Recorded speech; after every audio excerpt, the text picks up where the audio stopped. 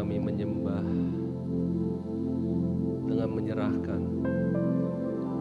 segala keinginan kami, kehendak kami, supaya hanya keinginan dan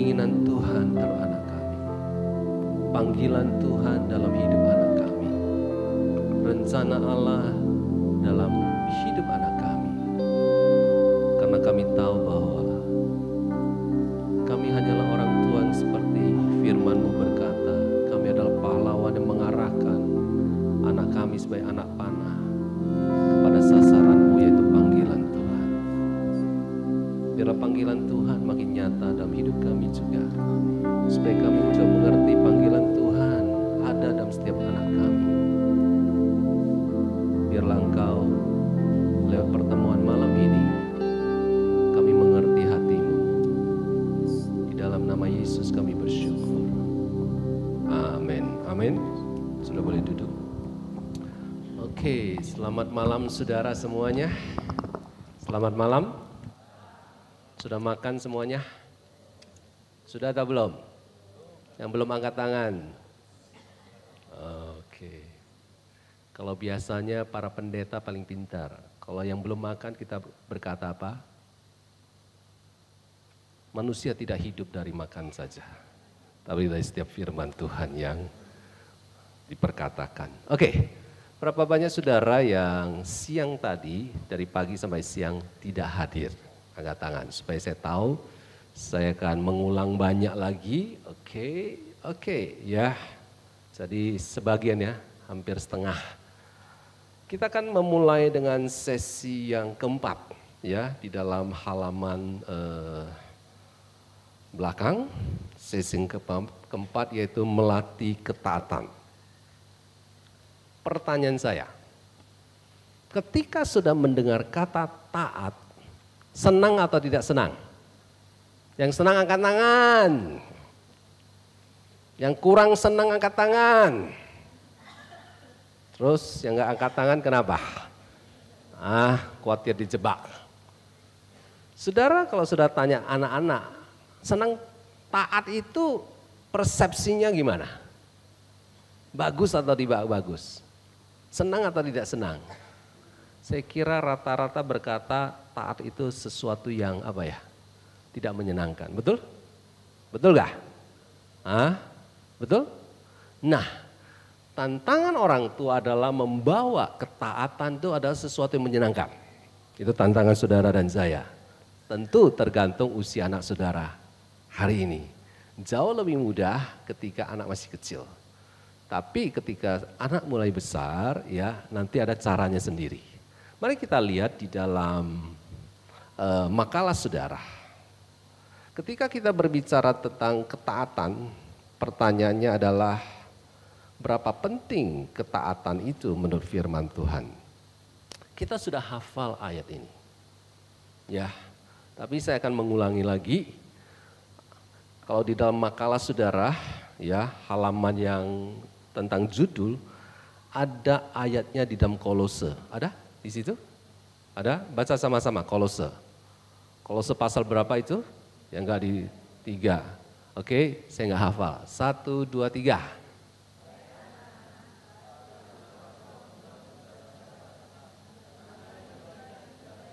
Karena itulah apa? Yang indah di hadapan Tuhan. Jadi saudara bagaimana ketika anak-anak taat ada sebuah keindahan. Sama ketika saya taat kepada Tuhan ada keindahan. Ya, makanya saya mengerti mungkin orang tua ibu indah ini ya menerima apa wahyu dari Kolose menamakan anaknya apa indah ya. Tapi yang pasti adalah sering kali ketaatan adalah sesuatu yang menakutkan. Karena kita hanya mendasari Mengapa ketatan begitu penting?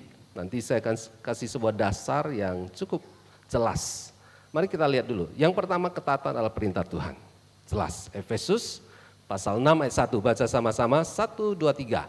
Hai anak-anak, taatilah orang tuamu di dalam Tuhan karena apa? Haruslah demikian. Harus. Perintah. Yang kedua, ketidaktaatan yang berulang-ulang adalah sebuah dosa. Ya, jadi diulangin terus, diulangin terus. Adalah sebuah dosa. Karena 1 Samuel 15 23a dikatakan apa? 1 2 3 sebab pendurhakaan adalah sama seperti dosa bertenung. Jadi sudah sekalian pemberontakan itu dikaitkan dengan dosa bertenung. Nah saudara itu implikasinya luas sekali. Ketika orang-orang yang di tengah bangsa Israel ternyata ada hubungan yang tenung, perdukunan, hukumannya adalah mati. Ya. Nah, oleh sebab itu pemberontakan itu ada kaitannya dengan dosa bertenung, ada kaitannya kuasa gelap. Jadi anak-anak yang memberontak itu gampang sekali apa? diserang oleh kuasa gelap atau juga dipengaruhi kuasa gelap. Yang ketiga, ketaatan mendatangkan apa? Berkat. Katakan berkat. Kita udah tahu ayat ini juga Efesus 6 ayat 2 sampai 3 kita baca sama-sama, satu, dua, tiga. Hormatilah ayahmu dan ibumu, ini adalah suatu perintah yang penting seperti yang nyata dari janji ini supaya kamu apa? Bahagia dan panjang umurmu di bumi. Jadi saudara kalau sudah perhatikan dari 10 perintah Allah, hanya satu perintah yang mengandung sebuah janji, betul? Yaitu antara hubungan siapa dengan siapa? Hubungan anak dengan orang tua. Artinya ketika sudah fokus kepada hubungan ini, saudara tidak usah takut lagi masa depan anak saudara seperti apa. Dia tidak akan mati muda, dia tidak akan kecelakaan, dia tidak akan mengalami banyak hal yang buruk karena ada sebuah janji Tuhan. Janji Tuhan apa? Supaya dia apa? Bahagia dan panjang umur. Nah, konsep orang tua adalah memastikan dia bahagia bagaimana. Nah, rata-rata orang tua yang kita sebut permissive parenting, orang tua yang selalu toleran, orang tua yang selalu mengikuti keinginan anak apa yang dia mau sejak kecil sampai dia remaja, dia tidak mengerti bahwa dia perlu menanam, melatih anak untuk taat sejak dini supaya dia bahagia. Sudah mau anak sudah bahagia? Berapa banyak sudah mau anaknya bahagia angkat tangan? Mau nggak? Simple caranya. Hormat pada orang tua. Di dalam hormat kepada orang tua ada apa? Penundukan diri, betul? Ada ketatan. Jadi saudara baca sama-sama kalimat merah ini, satu, dua, tiga.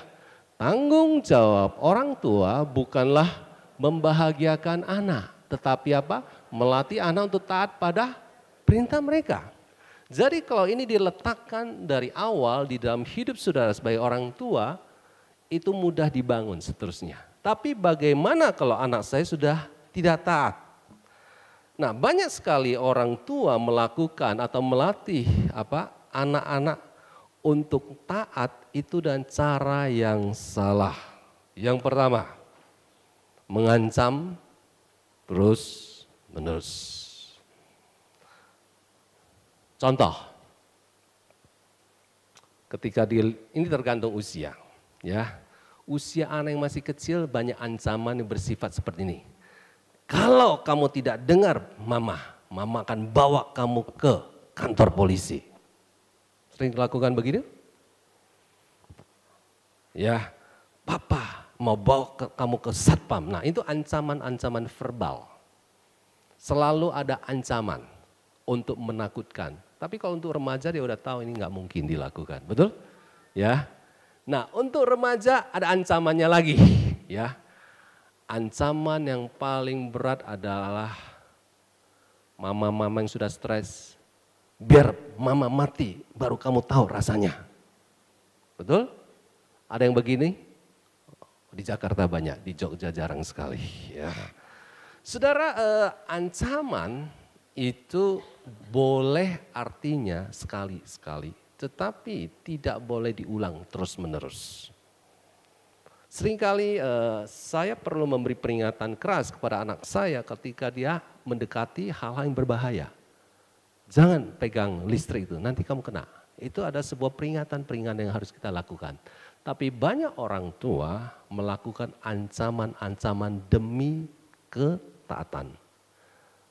Nah ini melanggar firman Tuhan. Mari kita lihat di dalam Yohanes 14 ayat 15. Buka handphone sudah atau Alkitab saudara. Yohanes 14 ayat 15 dikatakan begini. Jikalau kamu apa? Mengasihi aku, Yohanes 14 ayat 15. Jikalau kamu mengasihi aku, kamu akan apa? Kamu akan apa? Taat. Yesus berkata kepada murid-muridnya, jikalau engkau mengasihi aku, engkau akan apa? Taat. Itulah ketaatan yang sehat. Itulah ketaatan yang benar. Karena di dalam kasih tidak ada ketakutan. Satu Yohanes pasal 4 berkata, di dalam kasih apa? Tidak ada apa? Ketakutan. Kasih yang sempurna melenyapkan ketakutan. Jadi ketika orang tua ingin anaknya taat lewat ancaman, ya, saudara tolong saya. Hari ini kira-kira bentuk ancaman orang tua terhadap anak apa saja? Ibu-ibu? Ah, tak pukul ya kamu ya. Apalagi? Ada? Bu, apa? Ah? Apa? Enggak dikasih uang saku. Ya toh, apa lagi? Hah? Tidak dikasih pulsa, apa lagi? Ah, paling mengerikan, ya. Ah? Apa? Enggak boleh main, apa lagi? Sita, HP, oke. Saudara apa yang saudara katakan itu bisa benar, bisa salah. Kalau ketika sudah memberikan sebuah konsekuensi karena dia tidak taat, itu boleh. Boleh. Artinya kita sebut itu adalah peringatan. Nanti saya akan jelaskan. Peringatan, kalau kamu lakukan sekali lagi, kamu akan menghadapi sebuah apa? Akibat begini. Itu bukan mengancam. Itu ada peringatan. Seperti Tuhan memberi kepada kita apa? Peringatan. Dia memperingati Adam. Betul? Kalau kamu makan buah ini, apa yang akan terjadi? Pada hari engkau memakannya, engkau akan mati. Oke, itu konsekuensi. Tetapi yang saya maksudkan adalah mengancam terus-menerus ada sebuah kebiasaan. Dikit-dikit, mama cubit kamu ya, mama pukul kamu ya, papa akan ini ya. ya mengancam terus-menerus tidak sehat untuk menghasilkan apa? Sebuah ketatan. Yang kedua, memberi hadiah untuk instruksi yang dikerjakan. Saudara, banyak orang tua mengiming-iming anak, kalau kamu nanti manis ya, ada di gereja nanti, setelah itu kita akan ke McDonald makan es krim. Ya, ketawa karena apa? Sering lakukan itu. Saudara, pikiran dia apa? Oh, saya duduk manis nanti di gereja. Nanti dapat es krim. Jadi saudara mengkaitkan ketaatan dengan sebuah imbalan. Boleh nggak memberikan imbalan kepada sebuah ketaatan? Boleh. Tapi tidak ditawarkan di depan. Mengenai maksud saya? Dia tidak tahu akan ada eh, apresiasi buat sebuah ketaatan, tetapi tidak diiming-iming hadiah di awal. Boleh. Oke, mengerti maksud saya? Jadi banyak orang tua itu melahirkan ketaatan dalam melatih ketaatan anak itu memberi iming-iming hadiah. Ya kalau kamu lakukan A, ya karena gini, dengar baik-baik. Ketaatan ada sebuah karakter, bukan skill. Karakter itu tidak bisa terjadi dalam hidup kita dengan tumbuh dan benar kalau ada imbalan maupun ancaman. Mengerti maksud saya? Kita pernah ikut retret dan kita buat sebuah retret. Retret yang kita sebut uh, Excellent Seven Camp, tahu ESC. Dan setiap orang itu tahu apa akibatnya kalau datang terlambat? Ya kan? Kalau mereka dengan pelit semua udah harus kumpul. Ya kan? Kita mengharapkan orang bisa datang tepat waktu dalam sebuah pertemuan dengan sebuah peluit. Kalau terlambat ada hukumannya. Salah satu hubungannya adalah push up.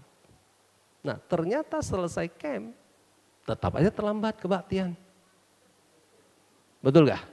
Tetapnya terlambat karena di kebaktian hari Minggu nggak ada yang semprotan print nggak ada. Hanya ada tiga hari dua malam di situ. Kita nggak bisa melatih dan melahirkan karakter dengan ancaman atau hadiah. Sudah mengerti maksud saya?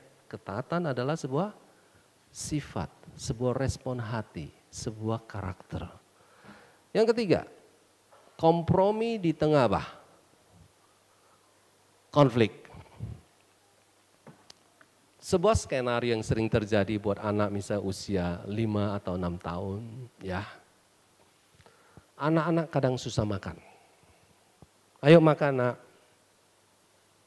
Gak mau, mau ini mau, oke dikasih lagi. Ini ada makanan yang dia sukai. Makan ya, ternyata dia gak mau. Oke, apa yang terjadi? Ketika kita memberikan instruksi makan, ketika dia nggak mau, sering kali kita harus memenuhi keinginannya demi dia makan. Contohnya, aku mau nonton TV sampai makan. Kita bilang, no, tidak bisa. Biasanya kita lakukan itu. Tapi dia ngancam terus. Kalau enggak, aku enggak mau makan. Respon yang benar, ya sudah, enggak usah makan. Nanti sore aja baru makan. Karena ketika kita melatih anak untuk taat, kita tidak selalu harus kompromi apa yang dia mau untuk taat. Saya mau ini sampai makan, saya mau makan sampai main. Nah di situ banyak kompromi-kompromi untuk supaya dia taat. Kita tidak mengajarkan ketaatan seperti itu. Saya mau tanya saudara, ketika Tuhan suruh Abraham mempersis sembahkan Ishak, ada kompromi nggak di situ? Halo? Tidak dikatakan Abraham bilang begini, Tuhan, izinkan saya liburan dulu ke Jogja. Enggak. Tidak dikatakan izinkan saya lakukan AB. Di situ dikatakan pagi-pagi Abraham membawa apa? Anaknya pergi. Jadi sifat ketaatan itu adalah segera. Sifat ketaatan itu adalah langsung. Tidak ditunda. Tidak ada proses kompromi-kompromi di situ. Oke? Nah, kita harus mengerti standar ketaatan menurut Alkitab. Tapi sekali lagi, kalau anak saudara apa tidak taat dan banyak membuat sebuah kompromi-kompromi, cari akarnya dulu. Cari akarnya dulu. Nanti kita akan jelaskan lebih jauh. Salah satu akarnya adalah sebenarnya hubungan antar kita dengan dia itu sebenarnya kurang deep, kurang dalam. Sehingga banyak negosiasi di situ dan kita tidak jadi contoh yang benar dalam ketaatan kita kepada Tuhan. Yang keempat, memberi apa? Hukuman apa? Terus menerus.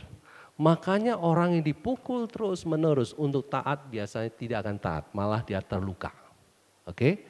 Ketika sudah harus memberi hukuman terus menerus untuk ketidaktaatan yang sama, ada sesuatu yang salah. Kemungkinan besar saudara tidak pernah menjelaskan ketaatan dari sisi firman Tuhan bahwa taat itu indah.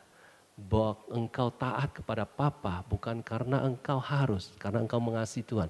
Jadi ada sebuah proses untuk menolong mereka melihat ketaatan dia kepada Anda itu adalah sebuah ketaatan dia pada Tuhan. Bukti lain di Alkitab apa? Ketika Paulus menuliskan tentang hai istri-istri tunduklah kepada siapa? suami seperti apa? Sama seperti apa? Kepada Tuhan, betul? Ya kan? Hai suami-suami, kasihilah apa? Istrimu. Jadi kalau kita lihat itu ada kaitan dengan kalau saya melayani istri saya, saya sedang melayani Tuhan. Sama, anak harus mengerti konsep nih. Kalau kamu taat kepada papa mama, kamu sedang taat kepada firman Tuhan, jelas. Jadi kalau kita melihat ternyata kalau tadi dikatakan Yohanes pasalnya yang ke-14 tadi ya. Ya, maafkan saya, bisa tolong saya, nggak bisa move. Kalau saya begini pencet aja, ya kecuali hang, ya. Oke. Nah, ketika tadi kita bicara Yohanes 14 ayat 16, jikalau kamu mengasihi aku, kamu akan apa? Menuruti apa? Segala perintahku. Catat sama-sama pernyataan ini. Aturan atau ketaatan yang dibangun berdasarkan aturan tanpa hubungan akan melahirkan pemberontakan. Oke? Ketaatan tanpa hubungan itu melahirkan apa? Pemberontakan. Karena anak ketika kecil dia merasa dipaksa. Nanti remaja dia akan lawan saudara. Oke? Sebaliknya, hubungan tanpa ketatan, hubungan ya, tanpa ada ketatan itu membuat anak liar, nggak bisa diatur. Oke? Jadi kalau sudah perhatikan dua ekstrim. Ekstrim pertama adalah orang tua otoriter. Orang tua otoriter, sudah boleh catat, ada di sesi keempat dari Racing Kids kita. Orang tua otoriter adalah orang tua yang sifatnya one way. Oke, okay, one way ya, memberi instruksi, dia mengharapkan ketatan mutlak tanpa dia membangun hubungan. Otoriter, tahu otoriter? Apa saja yang dia katakan harus diikuti. Tanpa dia bertanya, tanpa dia mengerti kondisi anak, tanpa dia menyatakan kasih. Bapak di surga bukan yang otoriter. Betul nggak? Betul? Bapak di surga bukan yang otoriter. Jadi kalau saudara dalam hidup sebagai seorang orang tua sudah menemukan saudara bertindak otoriter, cari akar masalahnya di mana. Kemungkinan besar saudara punya papa atau mama yang otoriter zaman dulu. Contoh teladan parenting style mereka, pola pengasuhan anak mereka itu sudah alami.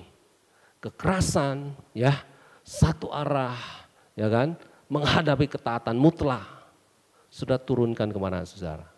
Pola ini harus berubah ketika sudah mengerti tentang sifat Bapak Surgawi. Nah orang tua otoriter itu tidak ada hubungan, lama-lama ketika anaknya usia besar, itu mereka akan memberontak. Jadi hubungan kasih dengan anak sangat penting. Karena tanpa hubungan kasih, tanpa ada kedalaman mengerti anak mengenai hatimu dan saudara tahu isi hati anakmu, apa pun yang saudara katakan itu kadang masuk apa telinga kiri keluar apa telinga kanan. Contoh, saya mau tanya ibu-ibu, ibu-ibu jujur ya ibu-ibu, ibu-ibu kalau tidak merasa disayang sama suami, tidak merasa apa? Disayang sayang suami, Kira-kira nasihat dari suami punya hati yang terbuka untuk mendengar gak? Jujur. Halo? Halo? Betul gak? Betul? Kalau hati eh, apa ya enggak enggak merasa dikasihi. Apa pun instruksinya rasanya cenderung mengabaikan. Sama anak-anak. Anak-anak kalau dia tidak tahu bahwa dia dikasih dan diterima, cenderungnya apa? Menolak. Makanya pemberontakan anak-anak bukan disebabkan karena mereka tidak mau taat. Tapi pemberontakan anak-anak pada zaman remaja ini rata-rata disebabkan karena mereka tidak jelas dan tidak mengalami kasih daripada orang tuanya. Kasih yang kita maksudkan adalah ini. Kasih yang kita maksudkan adalah sampai satu titik. Sampai satu titik dia aman sama kita. Ada trust. Saya bilang sama Ben, Ben, kalau kamu dikasih teman nonton, ya zaman kita sebutnya blue film, kasih tahu papa mama ya. Ben, kalau kamu merasakan rangsangan seksual, kasih tahu kita kita akan doakan kamu, kita akan tolong kamu. Yunika kalau kamu senang dengan pria lain, kasih tahu, enggak kenapa kok. Suatu hari Yunika bilang sama mamanya, mama saya demen sekali sama si A. Ya toh? Nah, kenapa dia bisa cerita? Karena dia tahu dia tidak akan dihakimi. Kenapa anak kita nggak mau cerita? Karena dia takut nanti dihakimi. Betul? Jadi pulang dari tempat ini, pulang dari ruangan ini, saudara harus spend waktu untuk terutama anak remaja duduk dan mendengar isi hati mereka. Sudah mau lakukan itu? Sudah mau lakukan itu? Karena kita kebanyakan ngomong terus, ngomong terus, nggak pernah mendengar. Nggak pernah dengar, yang ketawa sudah pengalaman. Ah, karena saya tadi duduk sama Pak Yusianto dan Ibu, mereka ceritakan tentang siapa? Anaknya, ya Jo, Yo, Yonai. Mana Yonai? Yonai. Mana Yonai ada di mana Yonai? Angkat tangan. Oh, udah masuk. Saya bilang sebenarnya sesi ini cocok dia yang ngomong. Betul gak? Real, cocoknya dia ngomong. Ya kan? Mengapa masa-masa sulit dia?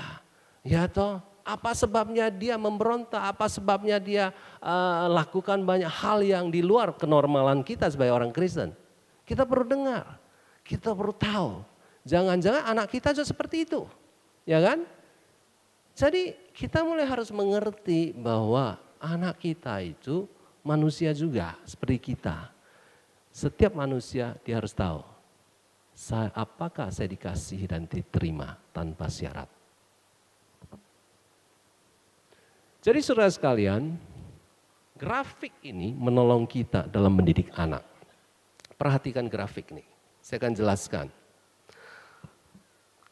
Yang garis hitam adalah otoritas. Yang vertikal adalah besarnya pengaruh otoritas ketika anak makin uh, masih kecil, orang tua harus memakai pengaruh otoritasnya jauh lebih besar dibandingkan ketika anak sudah mulai apa? dewasa. Ketika anak mulai dewasa, saudara nggak bisa hanya perintah-perintah, nggak bisa. Karena seperti orang dewasa, dia harus lakukan karena mengerti, betul? Saya mau tanya saudara, anak makan kerupuk, waktu makan, makan lima kerupuk sehat gak buat anak kecil usia lima tahun? Halo? Siapa di sini anaknya senang kerupuk? Yang tidak senang kerupuk, angkat tangan. Semua anak senang apa? Makan kerupuk. Siapa di sini yang anaknya tidak senang permen? Maka tangan. Semua anak senang apa? Permen. Siapa di sini anaknya sangat bermurah hati? Punya dua permen, diminta kasih dong satu dia kasih. Enggak. Semua anak lahir egois, betul? Mementingkan diri apa? Sendiri. Nah, ketika ini anak kita tidak berbicara soal proses dia pertobatan di sini. Ketika anak saudara masih kecil, dia tidak tahu makan kerupuk lima bisa batuk, makan es ya toh, minum es itu bisa membuat kesehatannya terganggu, nggak tahu. Orang tua yang tahu. Nah di situlah otoritas saudara, ketegasan saudara untuk menentukan mana boleh, mana tidak boleh harus kuat. Makanya daerah sini disebut daerah kontrol daerah kontrol. Tetapi ketika anakmu mulai besar, daerah sini harus sudah pakai untuk membangun hubungan hati jauh-jauh lebih spend waktu buat anakmu yang mulai menanjak remaja. Ya. Ketika ya seorang ibu harus mempersiapkan anak remaja perempuan untuk menghadapi apa? menstruasi pertama kali. Oke? Okay? Setiap ayah harus menemani anak lakinya ketika dia punya pengalaman mimpi basah di malam hari pertama kali. Sudah hal-hal ini nggak boleh tabu dibicarakan. Karena dulu kita tidak ditemenin, betul nggak? Saudara saya mengalami situasi eh, dapat apa ya nonton hubungan suami istri pertama kali karena diajak teman di SMA nonton blue film. Oke, nah itu masuk. Ketika masuk itu nempel Orang tua nggak tahu, ya, dan kita menikmatinya. Jadi perkara-perkara seksual rata-rata zaman saya, zaman saudara mungkin saya tidak tahu. Belajarnya dari siapa? Dari teman. Dari teman yang membuka hal-hal semua itu. Sekarang mereka bisa dapat langsung karena internet. Nggak perlu teman, bisa explore sendiri. Nah kalau hubungan saudara nggak kuat di situ, mereka tidak pernah menceritakan apa yang mereka alami.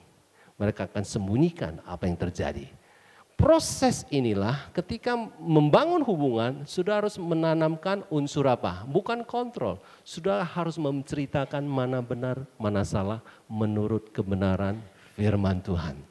Jadi ketika siapa di sini anaknya empat tahun, angkat tangan, empat tahun, lima tahun.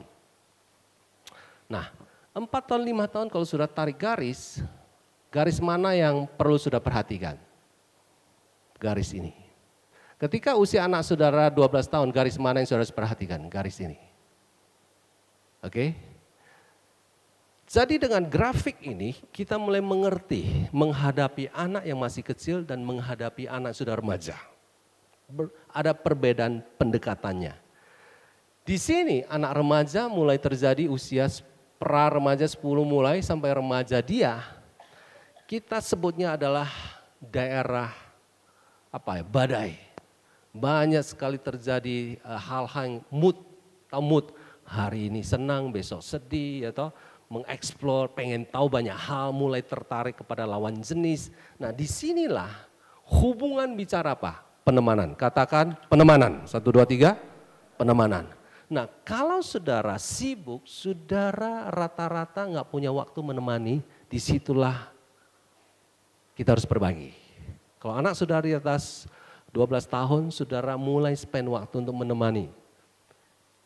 Saya dan istri saya rata-rata belajar kenal siapa teman Yunika sekelilingnya. Siapa teman Benaya sekelilingnya. Karena faktor teman sangat mempengaruhi. Kalau dia bergaul dengan orang-orang gak benar, kita bisa tahu. Suatu hari Benaya pulang rumah. Dia pulang rumah dan dia mengucapkan sebuah kalimat. Emang gue pikirin sama kakaknya. E eh, apa? EGP. Ya, buat sebagian orang tidak kasar, tapi buat kita kasar. Terus kita tanya, Ben kamu dengar dari siapa? Dari teman-teman di satu kompleks perumahan. Oke, kita mulai mendeteksi. Ada perkataan yang dia belajar pada waktu usia sekitar SD kelas 5, kelas 6, ya SMP 1 dari lingkungannya. Nah, kalau tidak ada hubungan, kita nggak mungkin berdialog seperti ini. Kita bisa berkata kepada Ben, jangan lakukan itu lagi. Dan kita mulai berpikir supaya dia punya teman-teman berhubungan dan orang-orang yang lebih benar. Makanya untuk menarik dia keluar daripada lingkungan yang nggak benar tidak mudah berjuang karena dia main futsal sama orang-orang kompleks, ngerti ya? Jadi akhirnya kita harus cari apa gereja ya kalau perlu kita bikin olahraga futsal supaya anak kita masuk ke lingkungan orang-orang benar. Jadi itulah proses orang tua dalam melihat hubungan kita dan eh, anak-anak uh, ini kita harus pengen tahu dia pertemanannya sama siapa. Alkitab berkata kebiasaan yang baik dirusak oleh apa? Dirusak oleh apa? Pergaulan yang buruk. Nah itulah sebabnya ketika sudah mengerti hal ini, saudara, sudah udah punya pedoman. Kira-kira saya sebagai orang tua harus lakukan apa? Jadi unsur ketaatan yang kita maksudkan adalah ketika kita bicara ketaatan, di sinilah unsur ketaatan sudah mulai diajar sejak dini. Bagaimana ketika anak kita sudah apa tidak taat, udah keburu besar, berdoa. Karena itu adalah manusia lama dia. Suatu hari dia harus berdoa, apa suatu hari dia harus bertobat, percaya Yesus, dibaptis, manusia lama dikuburkan. Dan firman Tuhan berkata, aku memberi engkau apa? Hati yang baru, hati yang taat. Yeskel. Di situlah titik saya berubah. Di situlah titik di mana anak-anak kita yang tidak lagi bisa diatur sejak kecil, kita harus doakan supaya ada pertobatan sejati, ketemu Tuhan dan berubah. Oke, saya minta istri saya lanjutkan bagaimana cara mendidik ketaatan anak dengan beberapa hal berikut ini.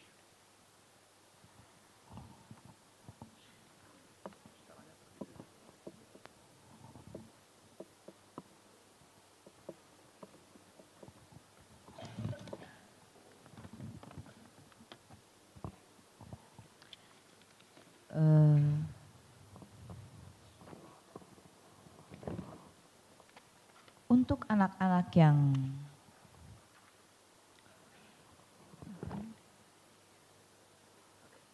untuk anak-anak yang masih kecil ya dalam proses uh, kita mengajar taat kita jangan terlalu uh, pusing dengan jangan jadikan anak langsung menjadi teman. Ya kalau dia baru satu dua tahun sampai usia sekitar enam tahun 8 tahun itu jangan jadikan mereka berpikir mereka ada teman kita. Bukan ya kecuali waktu main saja jadi teman. Ya, e, jadikan mereka anak yang masih perlu ditanam. Ya, prosesnya beda.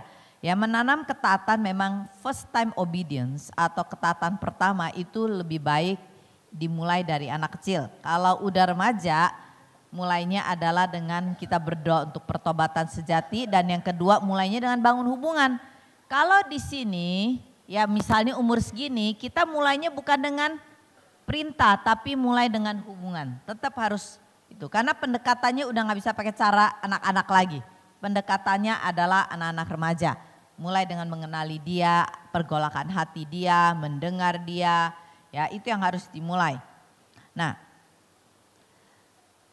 kalau kita melihat bagaimana cara mengajarkan taat.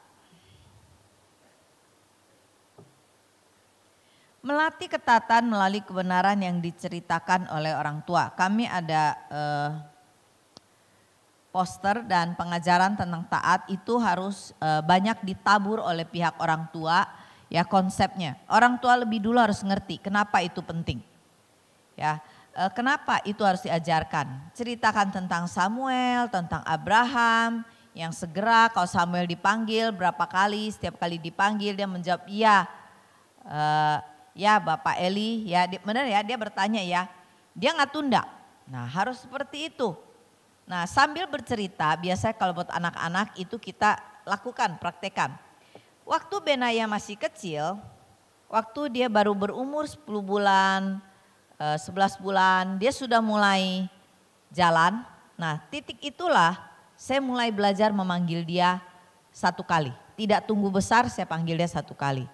Ya, jadi waktu anak saya mulai berjalan, ya dia udah tahu nama dia sering dipanggil oleh saya. Ya, e, jadi nggak sekejap Anda nggak pernah pegang anak, tiba-tiba latih ketatan, dia nggak pernah kenal suara Anda. Makanya anak-anak tuh kalau yang diganti para pengasuh tiap sebulan ganti, dua bulan itu agak sulit. Kenapa? Karena dia nggak kenal suara siapa. Ya satu tahun pertama adalah membangun percaya anak sebenarnya sudah mulai dari suara orang tuanya. Ya makanya kenapa orang tua harus sering ngomong. Karena dia mengenal suaranya. Saya ingat waktu Yunika lahir, ya pertama kali saya memanggil nama dia. Ya, uh, saya memanggil Yunika, ini mama. Berhenti dia nangis sebentar lalu nangis lagi. Ya karena dia sudah biasa saya ajak bicara. Nah, untuk anak-anak, uh, untuk Benaya waktu umur 10 bulan, saya lepaskan dia jalan sendiri di rumah. Pelatihan harus mulai di rumah, jangan jangan di gedung ibadah nanti ribut. Ya jangan di rumah orang lain, apalagi di rumah mertua. Jangan lakukan itu. Ya, saya lepaskan dia jalan, saya panggil anak saya, Benaya. Gitu ya. Biasanya dia cuma lihat, ya kan, anak-anak lihat lalu dia jalan lagi. Enggak. Sekali saya panggil, dia dia tidak datang, saya angkat dia. Saya bawa ke tempat saya duduk. Saya main sebentar, satu dua menit, lalu saya lepas lagi. Saya panggil lagi, Benaya, walaupun dia nengok, dia mencoba untuk meraih kebebasan dia. Saya panggil lagi. Itu lakukan berulang-ulang dan itu hampir dua minggu saya latih. Dan sesudah dua minggu lewat, satu kali panggil dia menjawab. Dia langsung datang. Nah itu pelatihan awal untuk ketaatan. Nah anak saya yang pertama saya latihnya waktu usia tiga tahun. Tetapi dari cerita Samuel, cerita Abraham saya praktekkan langsung. Dan ini menolong dia untuk segera dan tidak mengeluh. Ya kalau yang umur tiga tahun saya latih Unika dengan senyum. Ya, ya mama, saya bilang jawab, ya mama. Ya, saya juga tersenyum walaupun anak saya tidak menjawab. Jangan begini, kalau nggak sabar ya orang tua, aduh langsung kasar angkat anaknya. Dipanggil sini, ya dia mana ngerti. Ya ya kita yang latih dia dengan sabar. Ya sampai dia mengenal kita. Ya cuma kita lah yang dipanggil satu kali untuk dia bisa datang langsung. Ya jadi taat itu harus segera. Standar kita dulu harus kita taruh. Tapi standar bukan sebagai tuntutan standar sebagai pelatihan. Ya dengan sabar. Segera dan dengan tidak mengeluh artinya dengan senang hati bukan dengan marah-marah. Ya standar makanya orang tua kalau mau latih ketaatan kepada anak-anak ya nggak bisa ceritakan Alkitab dengan marah-marah juga tuh lihat ya Samuel tuh gimana kamu gimana jangan ngomong gitu kamu dipanggil aja mama nggak pernah kamu Nggak usah begitu, nggak usah dibandingkan, nggak usah diungkit-ungkit. Nah itu ciri-ciri orang tua yang belum sembuh, yang tadi siang kita doakan itu loh. Ya, ya sembuh, belajar sembuh. Ya dan orang tua harus punya kerohanian yang jelas gitu loh. Buat seperti Tuhan melihat, demikian kita melihat anak-anak kita. Ya jadi kita ada sukacita jadi orang tua, banyak orang tua punya anak nggak sukacita. Lah ngapain punya anak? Gitu ya. Itu sukacita kita. Lah kita didiknya harus dengan sukacita juga. Ya. Nah, masalahnya juga kadang orang tua tidak jadi contoh dalam ketaatan. Ya, taatnya nggak rela gitu loh. Kalau suami kita panggil kita, ya misalnya suami saya panggilan, kita juga suka diem gitu loh, bener gak? Ma, diem ini. Ma, mama di mana? Di sini.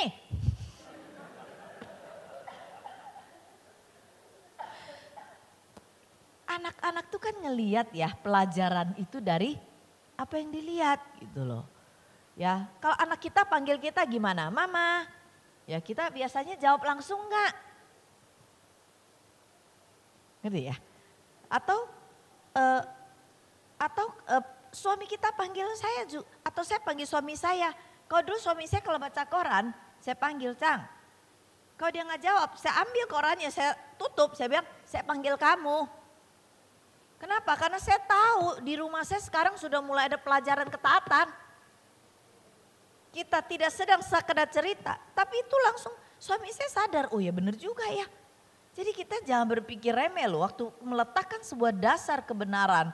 Kita mau ada buah-buah kebenaran, kita harus konsisten melakukannya. Capek nggak? Ya capek lah. Saya tidak kebayang kalau orang tuanya kerja. Momen-momen di mana kita bisa membentuk kita akan banyak kehilangan karakter itu karena harus dibentuk. Tidak ada anak lahir tadi suami saya katakan dengan karakter yang bagus. Amin. Enggak ada yang langsung. Waktu saya melatih anak saya memberi itu nggak mudah loh.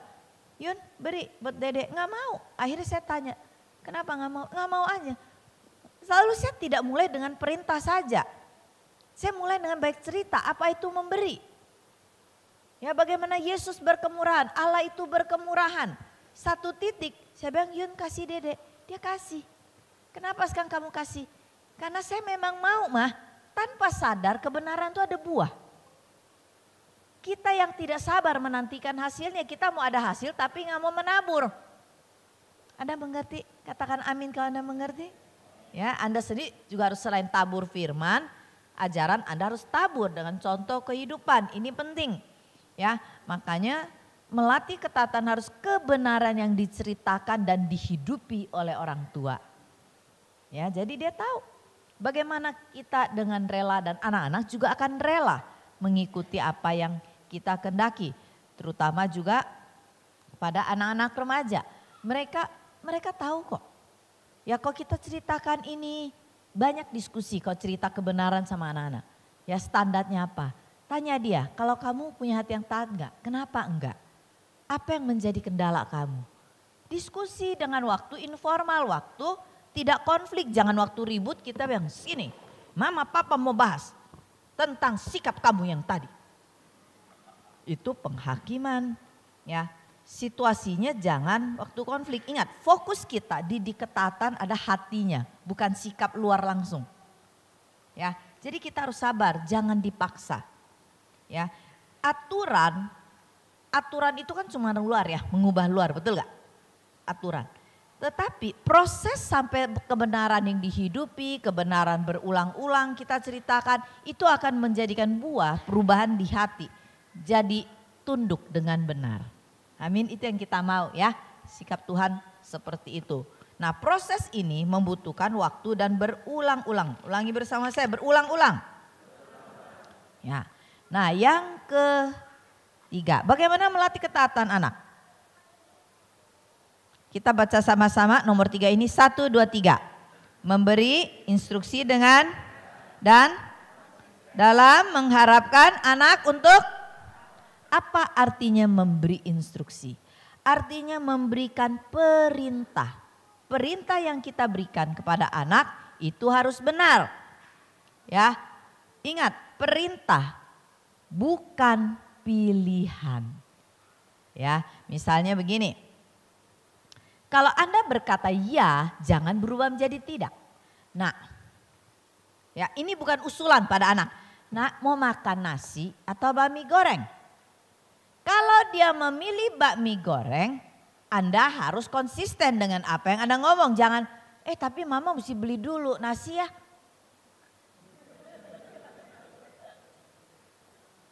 Orang tua sering kali memberikan perintah, tapi tidak dengan benar. Ya, kalau Anda berkata, ya eh, kamu mau makan sekarang atau nanti, berarti Anda memberi pilihan kan, bukan perintah kan? Ya udah dia pilih kalau dia memang nanti. Lalu Anda berkata kenapa harus nanti, kenapa bukan sekarang? Loh, Anda yang memberi perintah. Kalau Anda berkata, nah mama mau kamu makan sekarang, lakukan sekarang. Mandi ya sekarang, cukup sekali, jangan mandi, udah mandi belum? Kok gak mandi, cepetan dong. Ya, sekarang mandi. Mama pokoknya kamu sekarang mandi. Itu Anda bukan kasih perintah, Anda marah-marah. Nah, mandi sekarang. Waktu anak saya masih kecil itu terbiasa. Dia saya kasih baju renang, ya. Lalu saya berkata, duduk di sini, mama bereskan sesuatu, baru boleh. Anak kecil kan nggak tanya letter air ya, dia mau lari tuh. Anak saya laki loh, ya. Dia tunggu, dia tunggu, saya tunggu. Karena dia tahu kalau saya berkata perintah tunggu artinya tunggu. Tidak ada pilihan. Kecuali saya bilang mau sekarang berenang atau tunggu mama. Kalau dia bilang sekarang berenang harus sekarang. Karena Anda kasih pilihan. Orang tua sering kali tidak yakin ya apa yang Anda maksudkan. Ya, apa yang Anda maksudkan adalah perintah, perintah. Apa yang Anda maksudkan pilihan, ada pilihan. Ya, jadi ini penting sekali untuk anak-anak melihat kemantapan kita sebagai orang tua. Ya misalnya kita bilang, mau main HP? Kalau dia bilang iya kasih. Kalau ada yang tidak main HP sekarang, ya tidak jangan berubah jadi kasih. Berarti Anda melanggar apa yang Anda uh, perintahkan dan dia dia memilih Anda anda jangan memberikan pilihan kalau Anda memang bermaksud untuk tidak main HP. Anda mengerti maksud saya?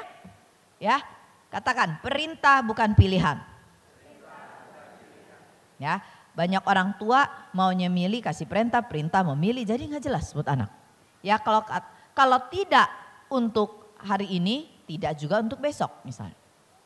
Ya, tidak boleh uh, main apa listrik, tidak sampai nanti juga enggak di rumah orang lain juga enggak, di gereja juga tidak. Ya, orang tua kadang tidak tega Makanya kenapa otoritas kita suka digoyang. Ngerti? Karena memang mudah digoyang, tidak konsisten. Nah orang tua harus mengerti, boleh atau tidak boleh. Kalau anak bertanya, nah boleh nggak? Buka komputer sekarang, buka laptop sekarang. Kalau katakan tidak boleh, tidak. Kalau katakan tunggu, ya tunggu satu jam. Kita harus konsisten, tunggu satu jam. Kalau kita katakan satu jam, satu jam. Dan apa yang dilakukan adalah Anda harus periksa banyak orang tua memberi perintah tidak periksa apakah dia melakukan, anak-anak melakukan atau tidak. Kita mudah ditipu oleh anak kita sendiri. Ya, kenapa banyak orang tua tidak cukup peka? Karena dari awal orang tua tidak konsisten, tanda kutip tidak malas kerja tapi malas periksa hasil apa yang anak-anak lakukan. Menjadi orang tua, kita harus punya kepekaan rohani. Ya, kepekaan rohani. Saya ingat waktu anak saya, eh, kadang saya jemput ya pulang sekolah waktu di SMP SMA. Satu kali di SMA 1, di SMK 1 anak saya uh, sekolah menengah kejuruan musik. Waktu itu dia bilang ngomong begini. Uh, waktu saya jemput, terus saya saya bisa tahu anak saya walaupun cerita sesuatu tapi nggak nggak cocok dengan hatinya. Saya cuma ngomong begini. Ini bukan karunia kenabian, bukan, bukan. Ya, kepekaan sebagai ibu atau ayah itu penting untuk kita punya. Saya bilang, uh, saya cuma tepuk anak saya pundaknya. Nah, Ben, ada apa dengan kamu hari ini? Apa yang membuat kamu gelisah sebetulnya? Terus dia bilang begini, Mama kok tahu? Saya bilang, Mama siap untuk mendengar. Terus dia berkata, Ma, tadi di sekolah uh, saya buka komputer dan ada gambar yang membuat saya gelisah. Terus saya bilang, kamu bisa ceritakan? Aduh malu, Ma. Oh, gambar tentang perempuan kah? Iya, pakai pakaian sedikit. Oh, kamu terganggu? Ya, kenapa terganggu? Kok hati saya terganggu? Menurut mama kenapa? Terus saya cerita, karena roh kudus ada di dalam kamu. Karena ada firman Tuhan. Sampai hari ini firman itu melekat kuat dalam hidup anak saya. Dalam 1 Korintus 6. Bahwa tubuhmu adalah bait roh kudus. Terus dia bilang, oh bait roh kudus itu Laki atau perempuan mah? Laki perempuan juga itu tubuhnya milik Allah. Oh begitu. Kok milik Allah emangnya uh, salah ya mah?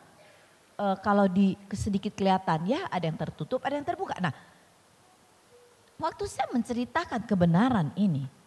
Ya roh kudus memberikan tidak damai sejahtera. Amin. Tapi dia tidak bisa terjemahkan salahnya di mana. Kenapa tidak sejahtera? Nah di situlah saya mengajarkan anak saya bahwa engkau tidak mentaati Tuhan waktu engkau dengar itu.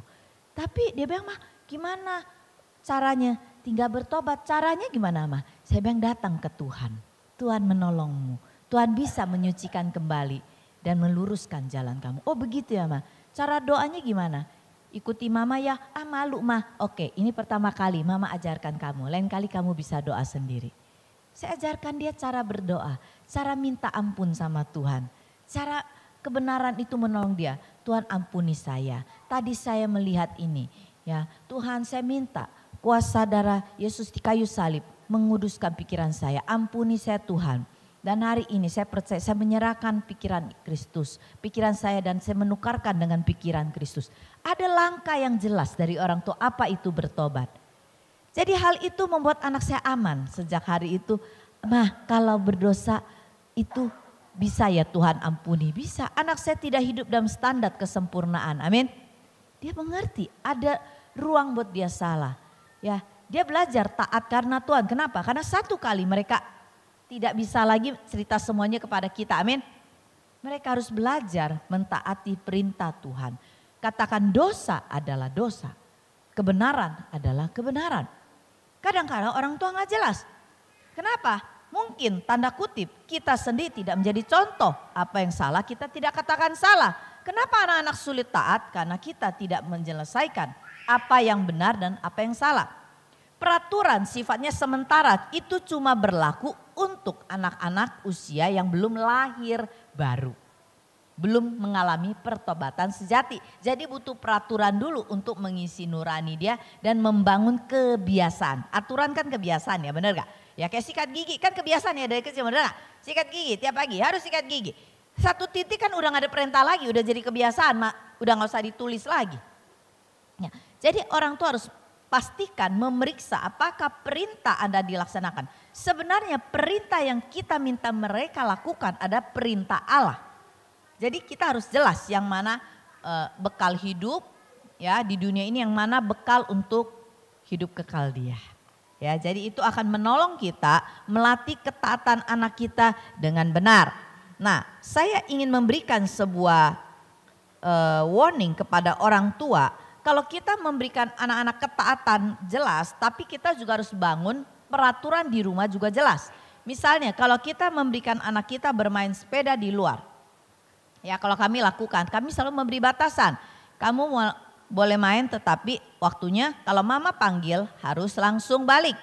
Ya e, mengerti, bikin perjanjian. Jangan ini kita nyari anak kita ada di mana, melur ke mana, lari ke mana mainnya. Ya kasih gak batasan atau kita kasih tidak batas sampai jalan di situ. Ya boleh main di mana. Ini penting sekali untuk anak-anak memahami isi hati kita dan pikiran kita.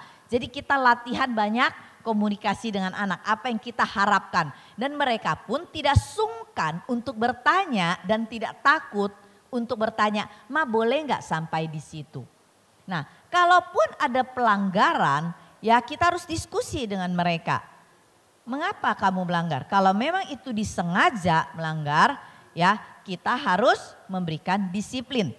Tapi kalau tidak sengaja,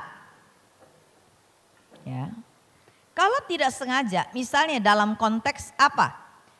Apakah dia melanggar karena tidak sengaja? Misalnya anak saya pernah tidak menaruh sepeda pada tempatnya. Ya lalu saya tanya, kenapa tadi tidak taruh sepeda pada tempatnya? Kalau kita tidak cukup peka dalam hati kita, kita akan langsung menjatuhkan hukuman dengan sekilas pandang. Anak saya berkata, tadi ada yang jatuh depan rumah, saya buru-buru menolong mah. Nah saya ngecek dan saya sense, sense itu apa ya? Saya uh, belajar peka, kira-kira ini benar atau tidak. Nah ini menolong kita mengenali anak kita, dia pembohong atau tidak. Ya, nah jadi kita harus senantiasa memeriksa. Kalau memang melanggar, maka kita harus belajar melakukan pendisiplinan yang tepat. Ya. Pendisiplinan yang tepat yaitu kita harus periksa dulu apakah dia lakukannya pertama sengaja atau tidak sengaja. Itu dulu yang harus jangan langsung makanya nggak bisa orang marah-marah ya. Wah ini melanggar nih. Ya misalnya begini anak saya lagi asik main, ya terus tiba-tiba saya bilang ini waktunya makan. Kalau waktunya makan kita bisa panggil dong, nak ayo makan sekarang. Nah itu nggak bisa tuh kadang kala tuh dia lang, dia lagi asik kan untuk menyetop sesuatu kan butuh waktu juga ya untuk melepaskan. Nah, biasanya orang tua yang bijaksana tidak otoriter begitu. Sekarang nggak? Kalau nggak sekarang awas, bukan begitu juga. Ya, mama mau kamu makan sekarang. Mama beri waktu 4 menit matikan mesin. Ngerti maksudnya? Jadi memberikan jeda untuk dia tidak tidak kaget ya dan tidak buru-buru dan memberikan waktu. 5 menit, 4 menit itu menolong untuk kita cukup bijaksana meresponi kondisi anak kita. Anda mengerti? Katakan amin kalau mengerti. Ya, jadi anak kita tidak merasa ditekan, tetapi anak kita dimengerti untuk memberi dia waktu untuk meresponi dengan taat. Ya. Nah, kalau dia meresponi dengan tidak taat atau sengaja tidak taat, apalagi misalnya pagi ini melakukan kesalahan sama, kok siang ulang lagi. Kalau usia tertentu kita harus lihat. Ya, misalnya hari Senin minggu ini dia tidak melakukan kesalahan, kalau Senin minggu depan dia tidak taat, berarti itu cuma butuh diperingati ulang. Ya, jangan jangan oh Lupa nih dia nih, kan pen, mendidik anak berulang-ulang. Ya, tapi kita lihat frekuensinya terlalu dekat nih anak pinter ini. Kok yang lain dia inget, kok ini nggak inget ya. Taruh biskuit aja di tempat yang sama. Dia beberapa hari inget kok biskuit itu ada di mana. Betul gak? Ya masa dia nggak inget kesalahan. Tapi kita harus tes. Sekali lagi kepekaan rohani dibutuhkan oleh para ayah dan ibu. Ya, kalau dia tidak taat, yang harus dilakukan bukan langsung pakai tongkat didikan, bukan. Ya, yang pertama teguran, peringatan. Teguran peringatan harus serius, jangan tertawa-tawa, jangan senyum-senyum dan jangan bercanda. Anak kita tahu kita bercanda atau tidak. Tatap mata dia dan katakan apa yang Anda mau. Katakan Anda sedih, Anda marah harus ngomong. Mama marah, Ngomong mata dia, jangan begini loh. Kalau anak masih kecil, kalau kita lebih tinggi, tahu nggak? Mama marah. Dia lihat ya. Turunkan tubuh Anda, taruh mata kita. Pegang bahu dia kalau masih kecil. Ya, kau pun udah remaja, minta dia duduk. Ungkapkan, kamu sudah melanggar. Ya, kamu membohongi mama. Ya, dan itu mendukakan hati mama dan mendukakan hati Tuhan. Jelas ngomongnya dosa tuh sama siapa? Dosa, kalau kita melakukan dosa, ketidaktaatan, itu bukan sekedar kita yang dia langgar. Tapi sebenarnya dia sedang melakukan dosa terhadap Tuhan. Jelas. Makanya ya kita harus kasih peringatan. Apa yang kita tidak mau dia ulangi? Bohongnya. Kalau kamu katakan tidak bisa, katakan tidak bisa. Itu lebih baik. Ya katakan salah itu lebih baik. Jelas apa yang salah. Beri peringatan. Yang kedua adalah isolasi. Ya artinya anak diasingkan. Misalnya kalau dia melanggar sesuatu ya dia ditaruh di satu ruangan, di kamarnya, bukan main-main, bukan. Untuk merenungkan, biasa sekolah lakukan tuh seperti detention, di tembok, ya pernah anak saya benturan berdua, berantem. Yang satu saya suruh hadap tembok di situ, ruang tamu, yang satu menghadap ruang dapur sendiri-sendiri. Ya, yang ini lebih berat 15 menit, yang ini kurang berat 10 menit. Tapi kalau diulangi lagi, kalau ulangi lagi, di sini setengah jam, di sini 40 menit. Itu orang tua. Jangan ditaruh di gudang, di kamar mandi, digelapin, ditakutin. Haum, haum. Itu namanya ngancem, nakutin anak jadi trauma. Bukan didik hati, didik mereka jadi takut. Bener gak? Nggak begitu, apalagi ada didikan diikat lah sekali-kali tidak boleh mendisiplin memukul anak dengan atribut pribadi. Misalnya kalau ayah ban pinggangnya lah, tasnya lah, bukunya lah. Ya, eh, apalagi mama-mama kalau pakai apa? Tas pinggang atau dompetnya lah, dia keplak anaknya pakai dompetnya. Jangan pakai atribut apa? Barang-barang pribadi lah yang lengket di tubuh kita, gak boleh. Ya, kita cuma boleh pakai tangan itu hanya untuk uh, emergency itu apa?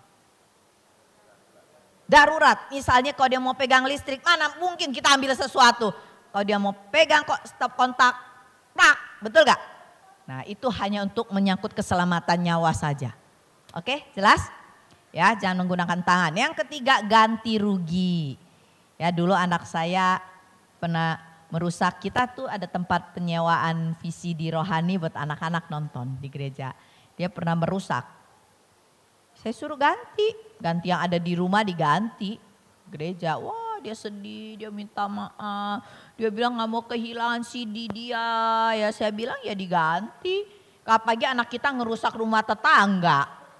Jangan bilang itu minta diampuni, anak kita nggak belajar apa-apa loh. Ilangin barang orang.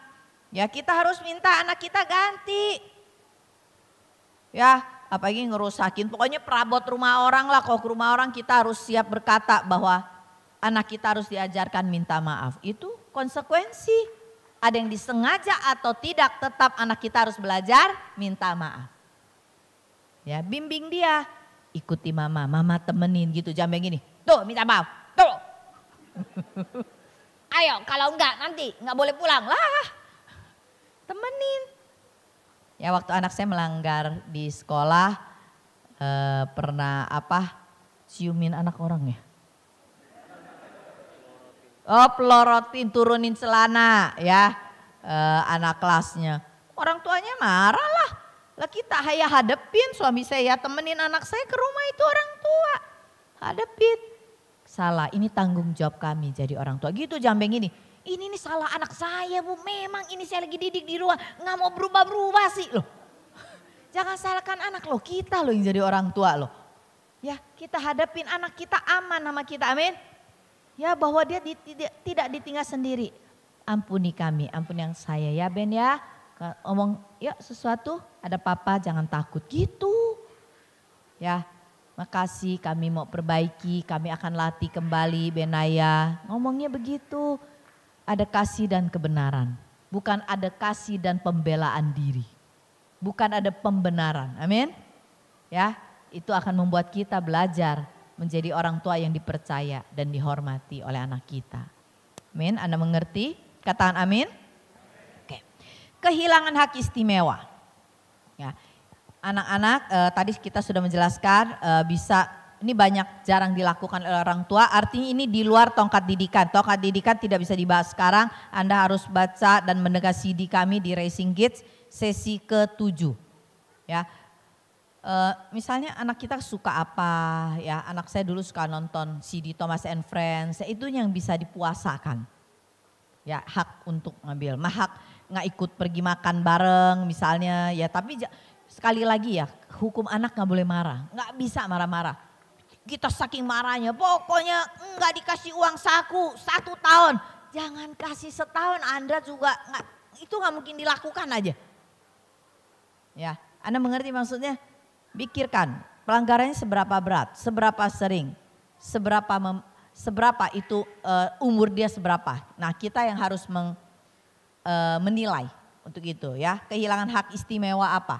Ya hak bermain, hak untuk bisa uh, datang bergabung bersama teman-temannya, pergi dengan rombongan teman-temannya itu hak istimewa. Ya, nah berilah pujian ketika anak kita taat. Nah, saya mau uh,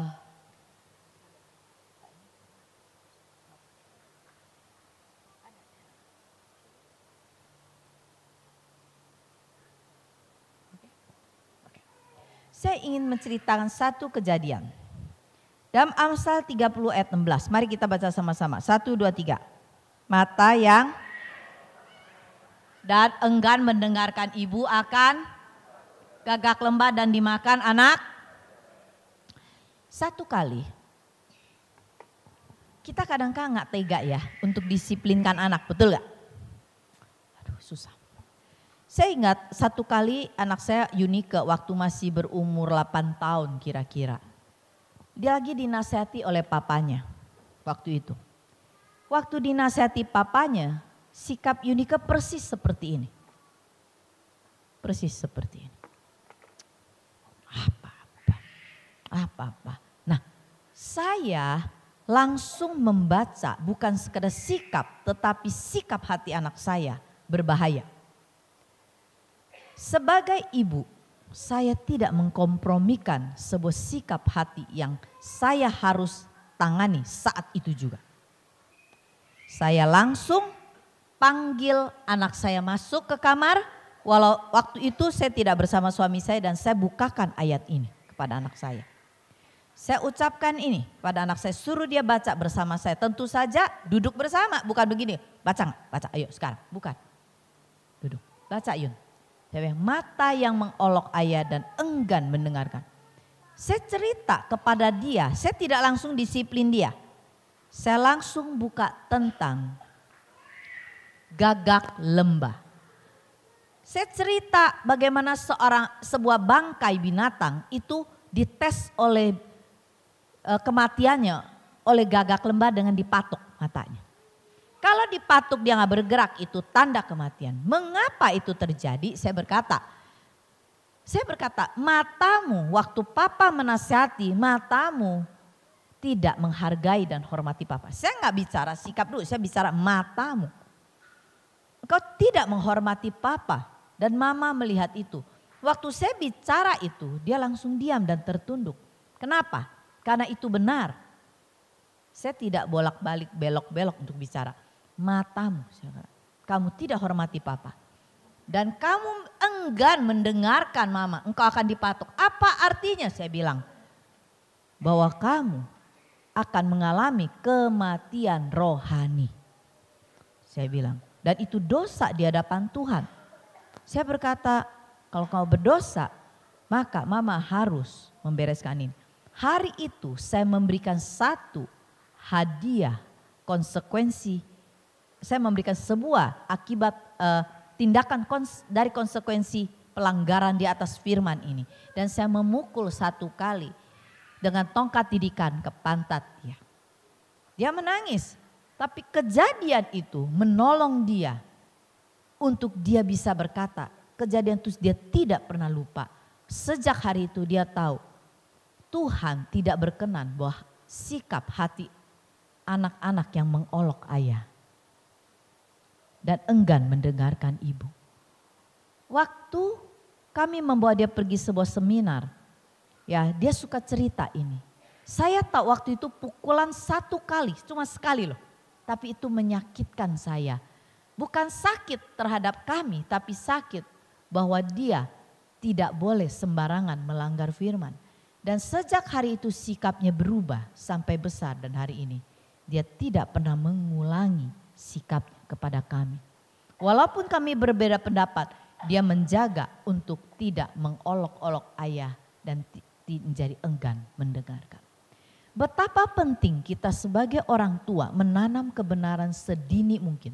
Ingat, menanam tidak tentu langsung jadi, tetapi tetap harus ditanam. Ya, dengan iman kepada Tuhan bahwa anak kita akan berubah. Ya, berubah bukan karena kita, karena kebenaran bekerja dengan sendirinya tanpa perlu Anda membelanya. Amin. Ya, dan percayalah anak kita akan mengalami pertumbuhan yang sesungguhnya. Saya ingin katakan setiap remaja, setiap remaja mereka walaupun serohani apa pun waktu kecil di sekolah minggu sampai umur 10 11 mereka tetap akan mengalami badai yaitu gejolak. Secara fisik mereka mengalami perubahan.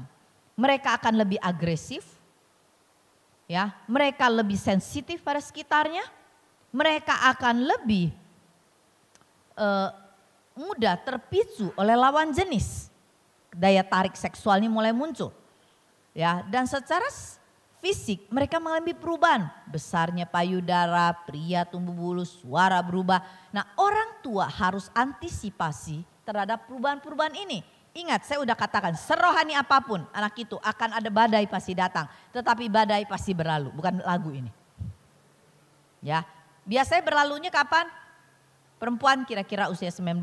Tapi itu kalau didampingi ya. Tapi kadang kalau lewat 19 masih bablas tuh. Kenapa? Karena tidak didampingi ngerti ya. Nah anak laki biasanya sekitar usia 21 baru badai itu agak berlalu. Nah orang tua harus sabar. Jangan bilang gini, apakah anak saya kurang rohani? Apakah anak saya kurang saat teduh? Apakah anak saya kurang doa?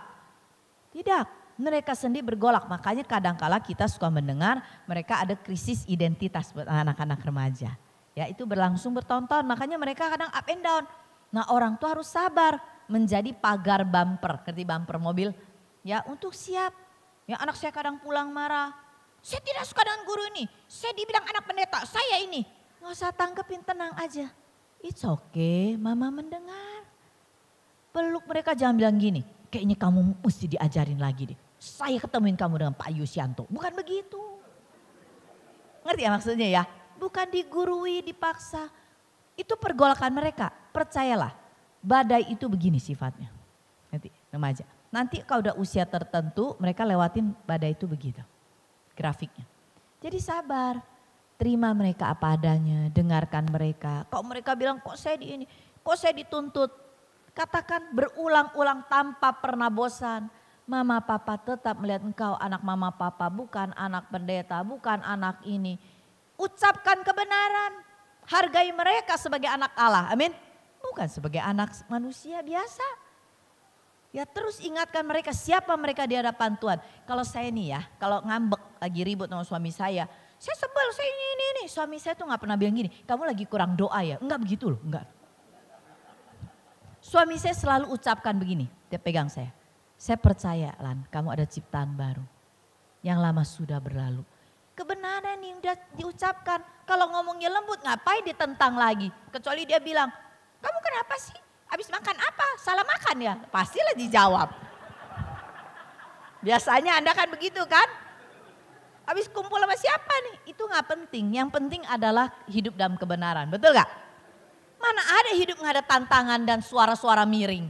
Iya kan? Bener gak? Pasti ada. Mau dari lingkungan kerja, mau lingkungan gereja aja bisa dapat kok. Gak ada yang ideal. Tapi kita hadapi dengan kebenaran dan kasih yang tiada batas itu. Ya berulang-ulang, nggak boleh bosan, jangan yang ini. Kayaknya udah ikut pelayanan, udah ikut ini kok masih begitu. Lah memang kita ini belum jadi malaikat. Lo betul gak? Yang duduk di depan ini belum jadi malaikat, belum. Tapi kita bisa tetap mengasihi dan menerima, amin. Apalagi anak-anak kita yang yang apalagi masih kecil belum bisa membedakan tangan kiri kanan kita nuntut lagi. Ya udah kan diceritain sekolah minggu, kenapa masih begitu? Ya memang masih begitu. Mereka butuh proses. Amin. Oke, jam menunjukkan 8.27. Ada pertanyaan? Open question kalau ada. Saya akan bacakan sebuah pertanyaan menarik. Ya, ya pertanyaan masuk kepada WA. Anak saya Bernard, umur tiga setengah tahun. Setiap dilarang, dibilang jangan, Bernard langsung emosi. Mengucap, saya nanti pergi sendiri, agar papa sedih. Ini anak pinter kelihatannya nih ya, bisa ngancam papanya. Atau saya mau tonjok papa sambil nonjok pelan, mohon saran. Bernard usia tiga setengah tahun, dilarang emosi dan keluar kata-kata mengancam. Kira-kira menurut saudara apa yang terjadi dengan anak ini? Dugaan saya yang pertama adalah anak ini sudah terekspos kepada tontonan. Kemungkinan besar. Dia ya toh? Ada orang tuanya di sini? Ada di sini? Angkat tangan? Oh kanan, kanan, oke. Okay. Ya, saya nggak tahu apakah Bernard sudah menonton banyak waktu masih dia sekitar usia tiga tahun, dia belajar dari mana, nonjok, ada nggak? Halo, Bapak? Uh, apa? Nah, terima kasih. Bernard biasanya nontonnya Tayo. Uh, yang lain itu apa ya? Uh, kemarin uh, dia nonton itu.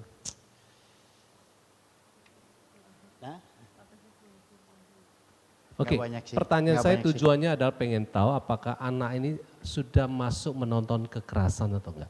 Belum. Belum, oke okay, belum. Yakin ya? Setiap dia mau nonton kekerasan saya bilang, dan dia juga ngomong bahwa ini tidak bagus Pak. Oke. Okay. Dan saya juga tegaskan, ini tidak bagus, ini bukan tontonan anakku. Pertanyaan kedua ini anak pertama atau anak kedua? Bernard. Anak keberapa? Apa? Anak keberapa? Uh, kami, ini istri saya, kami punya anak. Di rumah sekarang ada enam. Okay. Kami punya banyak ada anak semua adoption. Oke. Okay. Nah, terus uh, kami punya anak satu, nomor satu yang besar dan lima. Oke, okay, ini gitu. anak adopsi nah, atau enggak? Adopsi. Oke, okay. karena dugaan saya yang pertama kelihatannya dia lahir dalam kandungan tertolak. Kemungkinan besar. Betul. Nah, jadi menghandle anak tertolak sejak kandungan ya kita udah bisa baca responnya. Respon anak tertolak sejak kandungan apakah dia di, tidak dikendaki lahir ya toh atau orang tuanya pernah mau menggugurkan dia ya toh selalu bentuk ekspresinya adalah menentang ya yang pemberontakan. Oke. Nah, ini yang perlu kita mengerti anak kita yang usia masih kecil kalau memberontak cek soal itu. Oke. Uh, jauh, uh, kesembuhannya bagaimana? Mungkin istri saya akan jelaskan soal itu.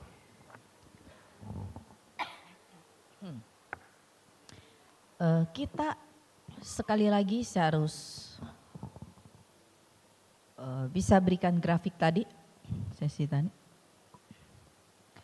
Kita harus mengerti setiap anak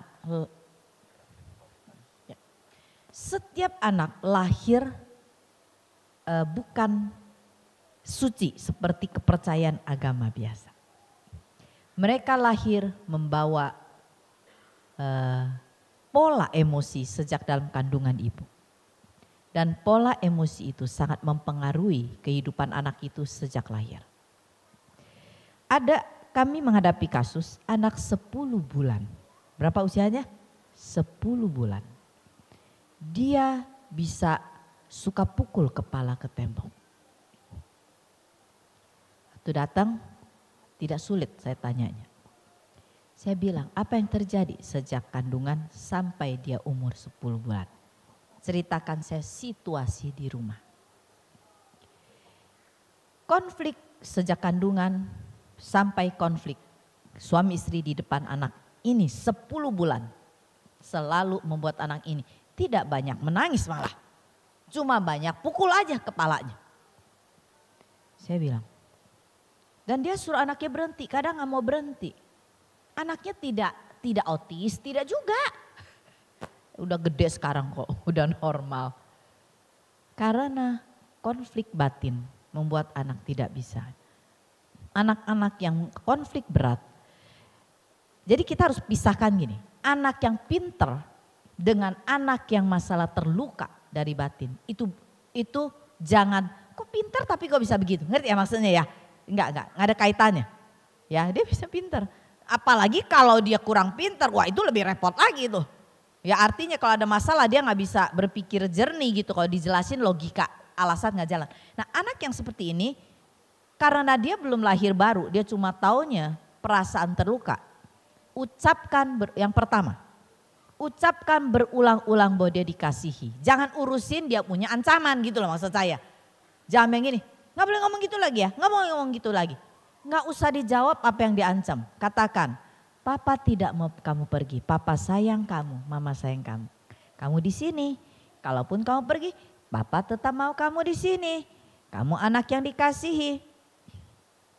Yang pertama itu. Yang kedua, ceritakan kebenaran. Kasih Tuhan berulang-ulang tanpa ada hentinya. Setiap cerita Alkitab dikaitkan kepada kasih Tuhan. Cerita apa pun buat Tuhan mengasihi dia. Ya, Ceritakan itu kenapa? Karena alam bawah sadar dia bisa disembuhkan. Karena itu semua kerekam di alam bawah sadar.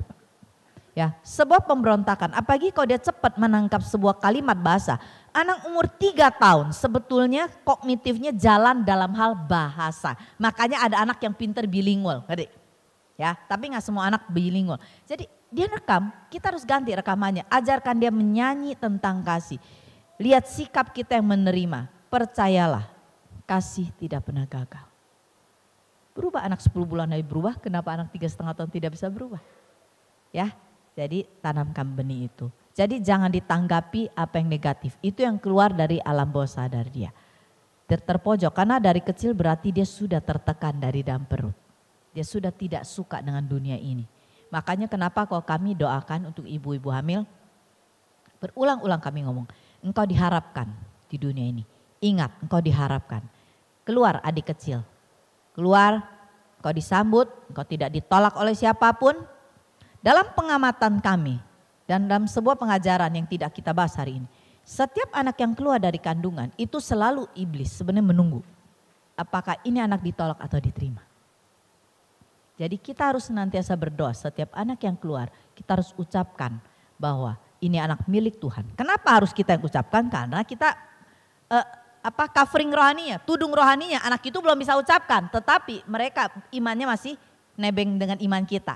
Ngerti ya? Sampai mereka lahir baru, mereka punya iman sendiri sebagai anak Allah. Mengerti maksud saya? Ya, jadi kita ngomong, kamu anak Allah, kamu milik Allah. Ucapkan kebenaran yang kedua. Oke Pak, ngerti? Yang ketiga banyak mengajak dia menyanyi tentang kasih Tuhan. dan Oke, jelas? Ya karena anak kecil bisa berubah. Percayalah, balita itu paling subur untuk bisa berubah. Kita nggak sempat kasih grafik ya, ada di sesi berapa sebenarnya yang kita siapkan. Ya, oke jelas. Tadi ada yang mau bertanya, silakan Pak, angkat tangan tadi. Oke, boleh dikasih mic?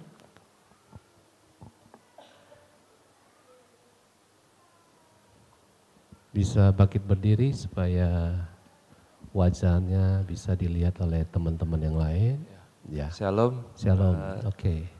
Saya mau tanya kalau kan saya mau cerita dulu sebelumnya kan kami masih tinggal bareng sama orang tua. Ya, mis, misalnya kalau untuk mendidik anak itu kadang kita tidak sepaham dengan orang tua kita gitu, uh, solusinya gimana? Oke, okay.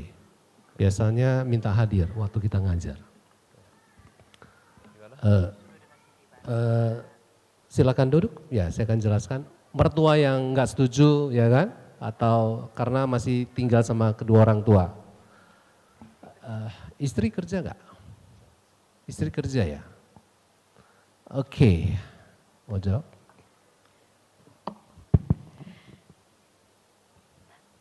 Kita harus memahami setiap orang tua yang kerja, apalagi sepenuh waktu dua-duanya, selalu ada konsekuensi. Selalu ada. Ya, saya sudah menjelaskan dengan suami saya sedikit tentang apa yang harus dilakukan sebagai orang tua. Kalau kita dengar begini ya, jadi orang tua itu bukan yang ada kerjaan loh di rumah, betul nggak? Bukan yang ada kerjaan. Ya, banyak hal yang harus dikerjakan selain kita memberikan mereka makanan yang cukup dan sekolah yang cukup. Kalau orang tua, eh, anak umur berapa sekarang nih? Tiga dan delapan. Sebenarnya masa keemasan anak untuk ditanam fondasi pertama ada 6 sampai 7 tahun. Oke, bisa pertama. tunjukkan uh, sesi kedua? Sesi ya. kedua. Bisa okay. ditayangkan? Sorry, sesi ketiga. Sesi tiga. Sesi tiga. Sembari dijelaskan. Tiga. Oke. Okay. Ayah dan Ibu Rohani. Uh, kita harus mengerti masa keemasan mereka ada di situ Ya, saya sangat memberikan saran para ibu rumah tangga usahakan uh, tidak bekerja sepenuh waktu. Sudah benar. Tadi sudah benar. Ya, itu. Usahakan. Kenapa? Karena banyak hal yang harus kita bentuk. Kalaupun terpaksa, ya memang hasilnya tidak maksimal pasti. Tapi orang tua udah kenal Tuhan belum? Yang ada di rumah sudah uh, coba dengar sama-sama. Banyak diskusi sama orang tua soal beli CD, diskusi. Atau apa yang didapat, diskusi. Cerita. Tapi kalau cerita sama orang tua, banyaklah cerita bukan mereka harus gini, harus gitu. Jangan, pendekatannya nanti malah kontraproduktif. Ceritalah apa yang harus berubah. Apa yang kalian dapat misalnya dari seminar ini, dari sesi ini, apa yang kalian, ujungnya anak kita mau dibawa ke mana. Jadi orang tua punya visi yang sama ke depan. Ya, saya mau anak saya uh, tahun ini belajar terima kasih mah, misalnya gitu loh ya. Uh, karena saya lihat dia ini, saya mau anak saya bisa mandiri ini, bisa begini, bisa gitu, cerita. Dan apa yang bagian mereka juga diceritakan.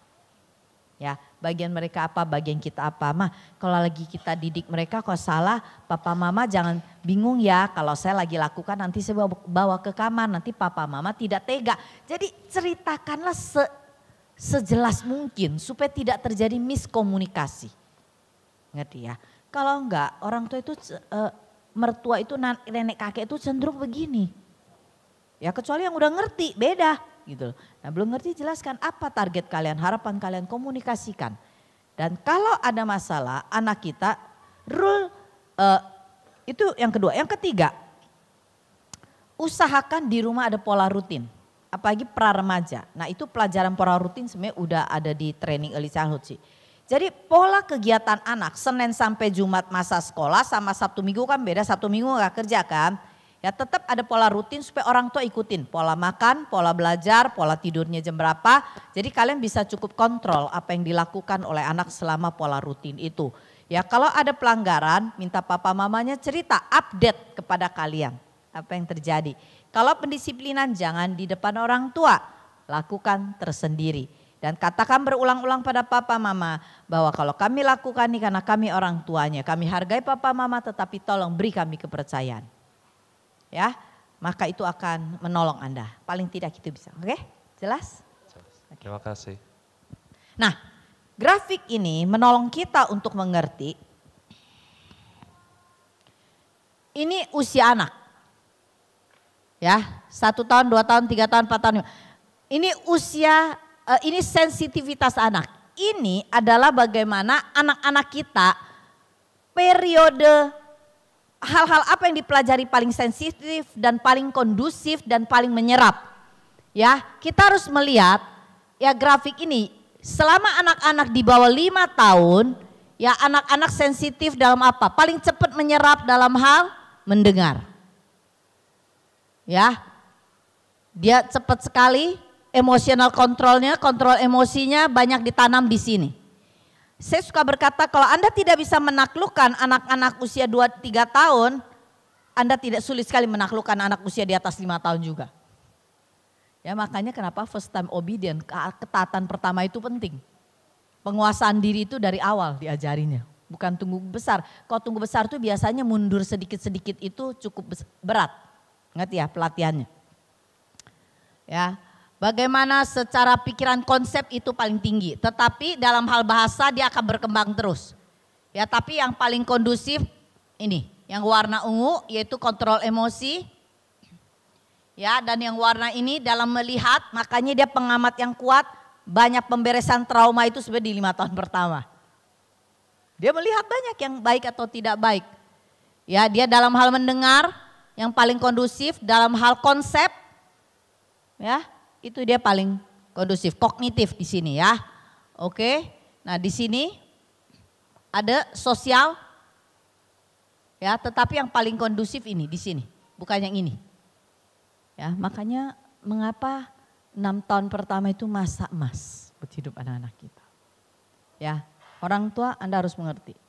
Ada fase dalam proses didik, tapi ini bukan hal rohani, tetapi paling tidak apa yang kita ceritakan mereka bisa ingat lebih cepat. Oke, ini hanya untuk membekali Anda bahwa Anda sedang menghadapi tahun keberapa anak-anak kita. Ya, makanya kadang kenapa kalau orang tanda kutip kata pepatah Cina, apa bambu tua lebih sulit dibentuk ya daripada bambu muda, betul? Ya, kata seorang komunis komunis sejati, dia bilang begini, serahkan anakmu 12 tahun pertama kepada kami komunis. Sisanya Anda ambil kembali. Kenapa dia ngomong gitu? Karena setelah 12 tahun sulit berubah. 12 per, tahun pertama itu masa subur untuk kita menanam banyak hal. Terutama 6 tahun pertama. Jadi hati-hati gunakan waktu Anda bersama anak Anda dengan baik ya supaya kita tahu uang bisa dicari tetapi waktu tidak pernah bisa dibeli berapapun harganya. Oke, ada pertanyaan lain?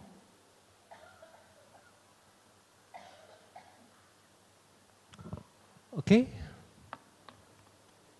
Cukup? Ada yang mau bertanya? Oke. Mau break atau mau selesai? Saya serahkan.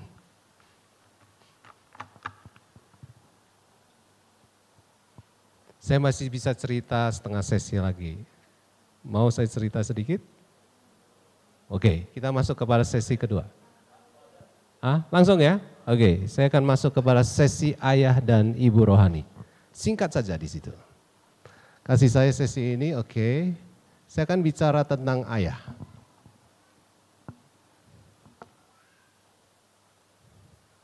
Mari kita bicara di dalam, uh, sorry, mari kita baca 1 Tesalonika 2 ayat yang ke-11 dan 12. Oke. Boleh kita baca sama-sama 1 2 3. Kamu tahu betapa kami seperti Bapak terhadap anak-anaknya telah apa? menasihati kamu dan menguatkan hatimu apa? seorang demi seorang dan meminta dengan sangat supaya kamu hidup sesuai dengan kehendak Allah yang memanggil kamu ke dalam kerajaan dan kemuliaannya. Ini adalah sebuah surat daripada Rasul Paulus kepada jemaat di Tesalonika. Menarik sekali di dalam surat e, pertama Tesalonika ini dia berbicara tentang dirinya sebagai ibu. Nanti istri saya akan jelaskan. Dan dia juga berbicara sebagai seorang bapak rohani terhadap jemaat sebagai anak-anaknya. Nah, perhatikan dia menggunakan kata-kata yang menarik telah menasihati kamu, terus dan apa? Menguatkan hatimu apa? Ramai-ramai khotbah aja seorang demi seorang. Rasul Paulus kira-kira sibuk tidak? Hah? Sangat sibuk kali ya. Tetapi menarik, dia dia berbicara tentang ayah, seorang bapak itu harus punya waktu menasihati dan menguatkan. Dan ketika saya baca ini saya mulai menyadari saya ternyata bukan anak yang dinasihati oleh papa saya. Saya bukan anak yang dikuatkan oleh papa saya. Saya berkata bahwa papa saya ada atau tidak ada buat saya nggak terasa apa pun. Dia pendiam sekali. Ya toh? Dia dia senang sama uang, dia senang macio. Tahu macio? Judi cara orang Tionghoa, ngerti ya? Jadi saya anak bungsu keenam dibiarkan tumbuh sendiri. Dan ketika saya mulai melihat diri saya, ternyata saya tumbuh menjadi seorang anak yang tanda kutip ada keminterannya, tidak ada sebuah keberanian untuk melangkah hal-hal yang sifatnya resiko. Saya tidak, saya adalah pengambil resiko rendah.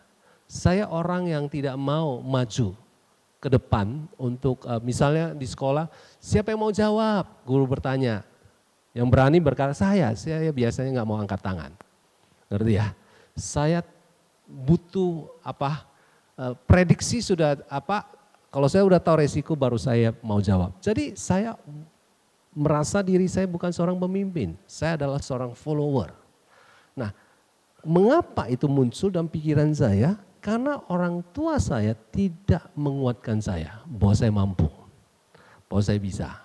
Oke, okay? makanya fungsi seorang ayah. Yang pertama adalah membangun identitas anak. Ini penting. Ini pelajaran sangat penting. Karena ketika sudah melihat dunia remaja sekarang, mereka itu sering kali tidak apa mencari idola karena apa? Mereka nggak jelas siapa mereka di hadapan Tuhan. Apa itu identitas? Identitas berbicara siapa saya buat papa mama. Yang kedua, siapa saya buat teman-teman saya. Yang ketiga, siapa saya buat Tuhan. Itu identitas. Identitas itu sangat menarik sekali ketika orang tidak jelas identitasnya siapa, ya toh? Dia ingin membuktikan dirinya untuk dihargai, diakui. Makanya banyak orang-orang yang sebenarnya mengejar kesuksesan, ya toh, cinta uang, kerja keras untuk beli mobil, beli handphone terbaru. Dia membangun keberhargaannya di atas barang, toh? Di atas apa? Baju branded, padahal dia orang yang rapuh sekali. Nah dulu saya seperti itu juga. Zaman remaja saya, saya kalau sisir rambut lama sekali. Masih ingat?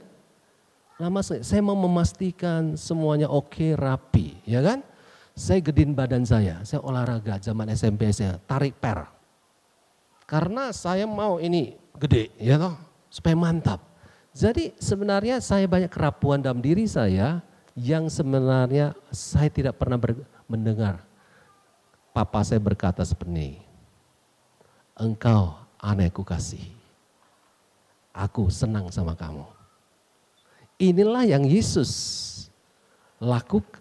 Ini yang Yesus alami ketika dia ada di Sungai Yordan. Baca sama-sama Markus 1 ayat 9 sampai 11. 1 2 3. Pada waktu itu datanglah Yesus dari Nazaret di tanah Galilea dan ia dibaptis di Sungai Yordan oleh Yohanes. Pada saat ia keluar dari air, ia melihat langit terkoyak dan roh seperti burung merpati turun ke atasnya. Lalu terdengar apa? Suara dari surga, bahasa dengan suara yang keras. Satu, dua, tiga.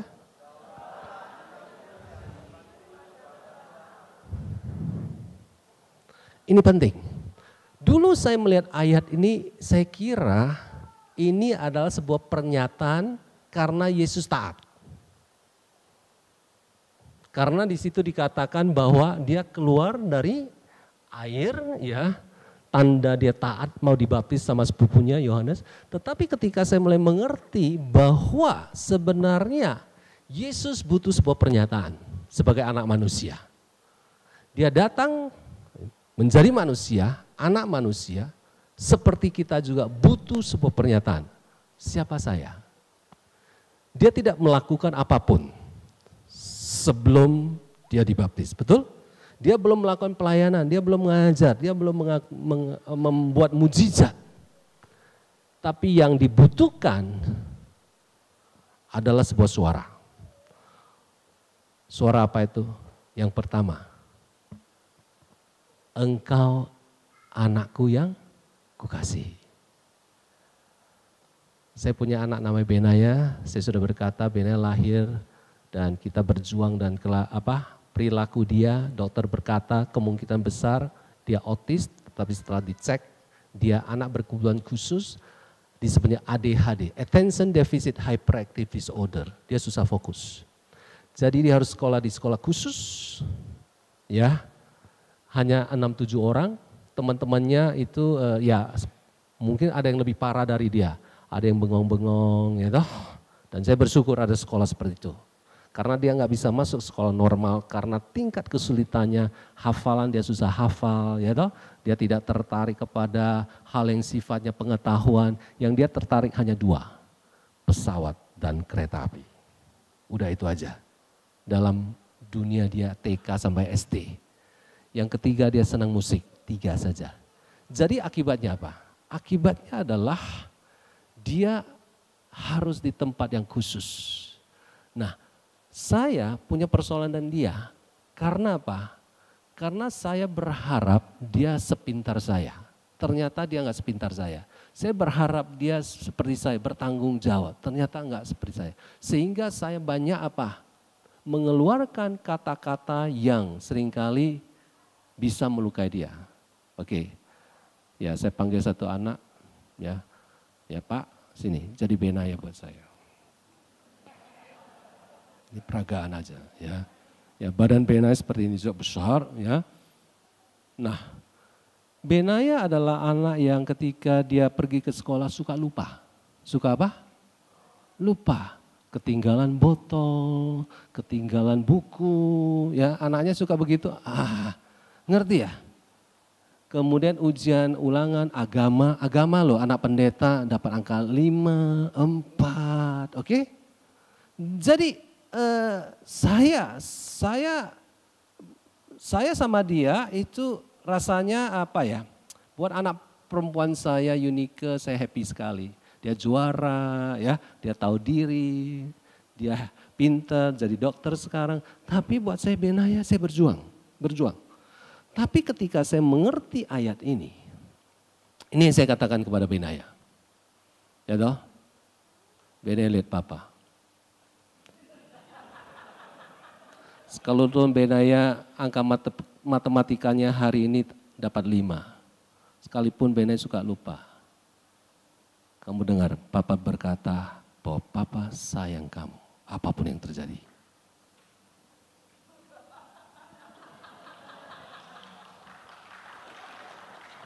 Oke, kenapa saya lakukan itu? Karena saya korban ayah saya. Ayah saya tidak pernah memuji saya walaupun saya juara di kelas. Jadi sekarang kalau saudara perhatikan Bena, Bena itu kadang pede banget gitu loh. Walaupun kadang nggak mampu ya. Ngerti ya? Kenapa? Karena saya menerima dia dan mengasihi dia tanpa syarat. Itu menyembuhkan dia. Mau sembuhkan anak saudara? Mau? Katakan seperti ayat ini. Engkau anak yang kukasihi. Papa senang kamu. Suatu hari dia datang dan ulangan tujuh. Matematika dapat tujuh. Dia bilang, nih papa dapat tujuh. Saya bilang, temanmu dapat berapa? Sembilan. Dalam hati bilang begini, Ben, kapan kau bisa dapat sembilan? Tapi saya bilang, good Ben, matanya berbinar-binar. Saudara jangan-jangan mata anak saudara low bed. Karena karena saudara adalah orang yang sering menghakimi. Ngerti ya? Menuntut. Jadi Benaya banyak berubah setelah saya banyak menyatakan kasih. Jadi saya sering bilang sama Ben, I love you Ben, I love you Papa. Buat kami saling memeluk itu suatu hal yang biasa. Bapak-bapak mau peluk anaknya? Amin. Nah, ada satu ayat lagi menolong saya berubah. Terima kasih Ben. Ya.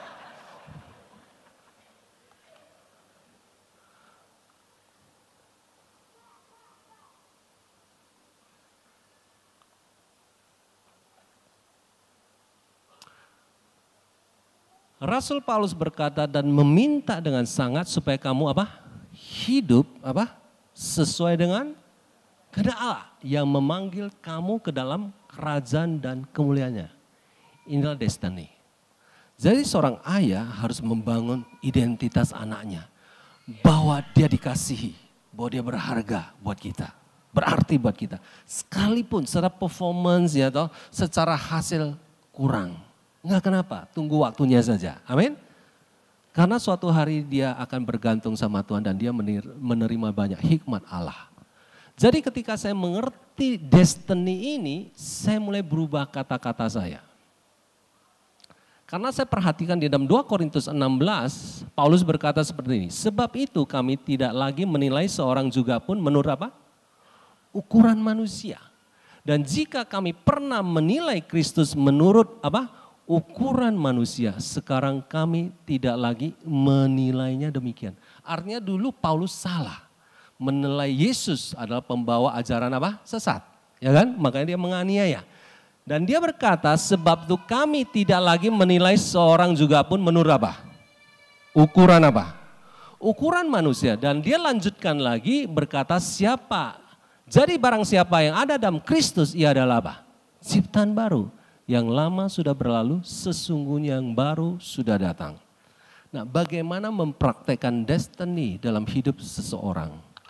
Atau hidup anak saudara? Silakan ke sini Ben sekali lagi. Nanti papa kasih hadiah. Ya, ambil satu poster yang kamu suka gratis. Oke. Okay. Dan Benai kan dulu suka lupa ya, lupa ini lupa, ketinggalan botol, suka lupa. Oke. Okay? Dan dulu ketika saya tidak mengerti ayat ini, selalu sebagai ayah saya bilang, Ben kok lupa terus, kamu bikin susah deh. Kita harus ke sekolah lagi ambil botol minuman kamu yang ketinggalan. Kamu ketinggalan buku mana lagi, ketinggalan melulu. Ya kan? Dulu saya hanya berkata, Ben jangan lupa ya, jangan lupa. Jangan lupa, jangan lupa. Atau kamu kok lupa melulu sih? Ya kan? Itu bahasa Jakarta. Lupa apa? Melulu. Destiny bicara sesuatu yang belum tercapai. Tapi dia sedang menuju ke arah sana. Ketika saya melihat ayat ini, saya mulai berbicara hal yang berbeda. Ben, lihat Papa. Papa percaya, kamu diciptakan Tuhan, bukan jadi anak pelupa. Papa percaya, kamu anak yang bisa mengingat. Itu destiny. Sudah terjadi belum? Belum, besok masih lupa. Oke, saya akan berkata lagi, Ben, Papa percaya kamu ciptaan baru. Kamu bisa ingat. Oke? Okay? Sudah terjadi? Belum. Eh lama-lama terjadi. Tidak lupa lagi. Tidak ketinggalan barang di rumah orang, di sekolah. Nah ini destiny yang sifatnya belum ada tapi kita perkatakan. Ketika kita mulai melatih ke arah sana, kita mulai nanti Tuhan akan bukakan destiny yang lebih jauh. Lebih jauh. Nah hari ini saya tidak eksplor karena saya sudah lakukan ketika saya ulang tahun ke 50, dia sudah 17 tahun, di situlah saya berkata, inilah Benaya, anak papa. Dan saya mulai berkata kepada destiny dia, bahwa dia akan jadi seorang pemusik, bahwa dia akan juga apa memuliakan Tuhan, bukan di Indonesia, di bangsa-bangsa. Saya mengucapkan firman Tuhan, hati Tuhan buat dia, bukan karena keinginan saya. Seperti Isa, apa mengucapkan firman Tuhan yang seharusnya buat Esau, tapi ternyata Yakub yang dapat pesan itu. Dan memang Tuhan rencanakan bahwa Yakub akan diberkati, bukan Esau. Itulah destiny. Sudah mengerti maksud saya? Ayah-ayah bisa? Halo mulai praktek sama istrimu. Kamu istriku yang luar biasa. Walaupun tadi pagi sudah bikin kesalahan gitu loh. Terima kasih Ben ya, nanti ambil poster satu ya. Ngerti ya? Ini ini ini persoalan besar dalam pernikahan dan dalam mendidik anak. Karena yang merusak diri anak adalah perkataan orang tua. Oke? Yang merusak anak adalah apa? Perkataan orang tua, terutama perkataan ayah. Saya kasih contoh terakhir. Nanti istri saya akan berbicara dari sisi dia. Kira-kira uh, dua tahun yang lalu, ya tiga tahun lalu, tepatnya ketika Yunike ada di rumah, dia keluar dari kamar mandi, dan waktu itu saya istri saya uh, apa tidak ada, saya akan ketemu dengan kakak perempuan saya yang uh, tinggal di Melbourne, dia kunjungan. Saya bersama Yunika akan ketemu dia. Ketika uh, Yunika keluar dari kamar mandi dengan baju yang rapi, saya lihat dia, Yun, cantik sekali kamu hari ini. Tidak bermaksud berlebihan, hanya komentar saja. Habis itu selesai. Dua hari kemudian dia ketemu mama. Ya, dia bilang, Ma, papa bilang saya cantik loh. Padahal saya udah lupa ngomong apa, tapi pengaruhnya luar biasa. Jadi, ayah-ayah dengar baik-baik, perkataanmu punya pengaruh yang luar biasa. Menurut penelitian, pengaruh perkataan ayah jauh lebih dahsyat daripada pengaruh perkataan seorang wanita. Makanya pakai mulutmu untuk membangun bukan meruntuhkan seperti Paulus lakukan. Amin. Para ayah bisa lakukan? Kita tidak akan ketemu lagi karena besok saya akan pulang. Tapi saya akan lihat anak saudara, matanya masih low bed atau tidak. Kalau dia bersinar-sinar, wow saudara sudah mengerti ayat nih. Wah, anakmu berharga dan kau kuatkan mereka satu sama satu orang demi satu orang dan destininya mulai perkatakan, perkatakan. Bisa lakukan? Simple, oke. Okay? Jadi tugas ayah apa? Dua. Membangun apa? Identitas anak. Yang kedua apa? Destiny dia. Identity and destiny. Cara bangunnya bagaimana? Perkataan. Ingat, perkataan Bapak di surga terhadap Yesus, sudah harus lakukan. Kalau sudah senang, ungkapkanlah kamu senang, kamu bangga. Orang Chinese kadang seperti ayah saya, dia senang dia juga diem. Ngerti ya? Jadi nggak jelas saudara. Saya berusaha menyenangkan hatinya juga saya rasa aduh papa seneng nggak? Ngeri ya? Nggak ada kebanggaan. Nggak pernah berbicara bahwa dia bangga. Inilah anakku yang kukasih. Kepadanya aku apa? I'm happy. Aku berkenan. Ya itu bahasa lain. Bagian istri saya akan menjelaskan peran seorang ibu. Oke? Okay?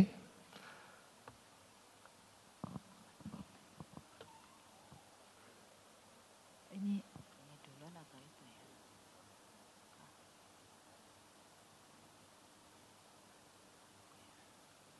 Ini duluan deh.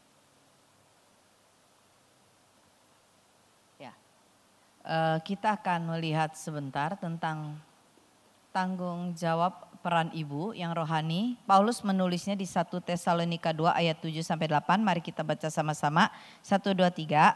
Tetapi kami di antara kamu sama seperti seorang ibu mengasuh dan demikianlah kami dalam kasih sayang yang besar akan kamu bukan saja rela membagi Injil Allah dengan kamu tetapi juga membagi hidup kami sendiri dengan kamu karena kamu telah baik.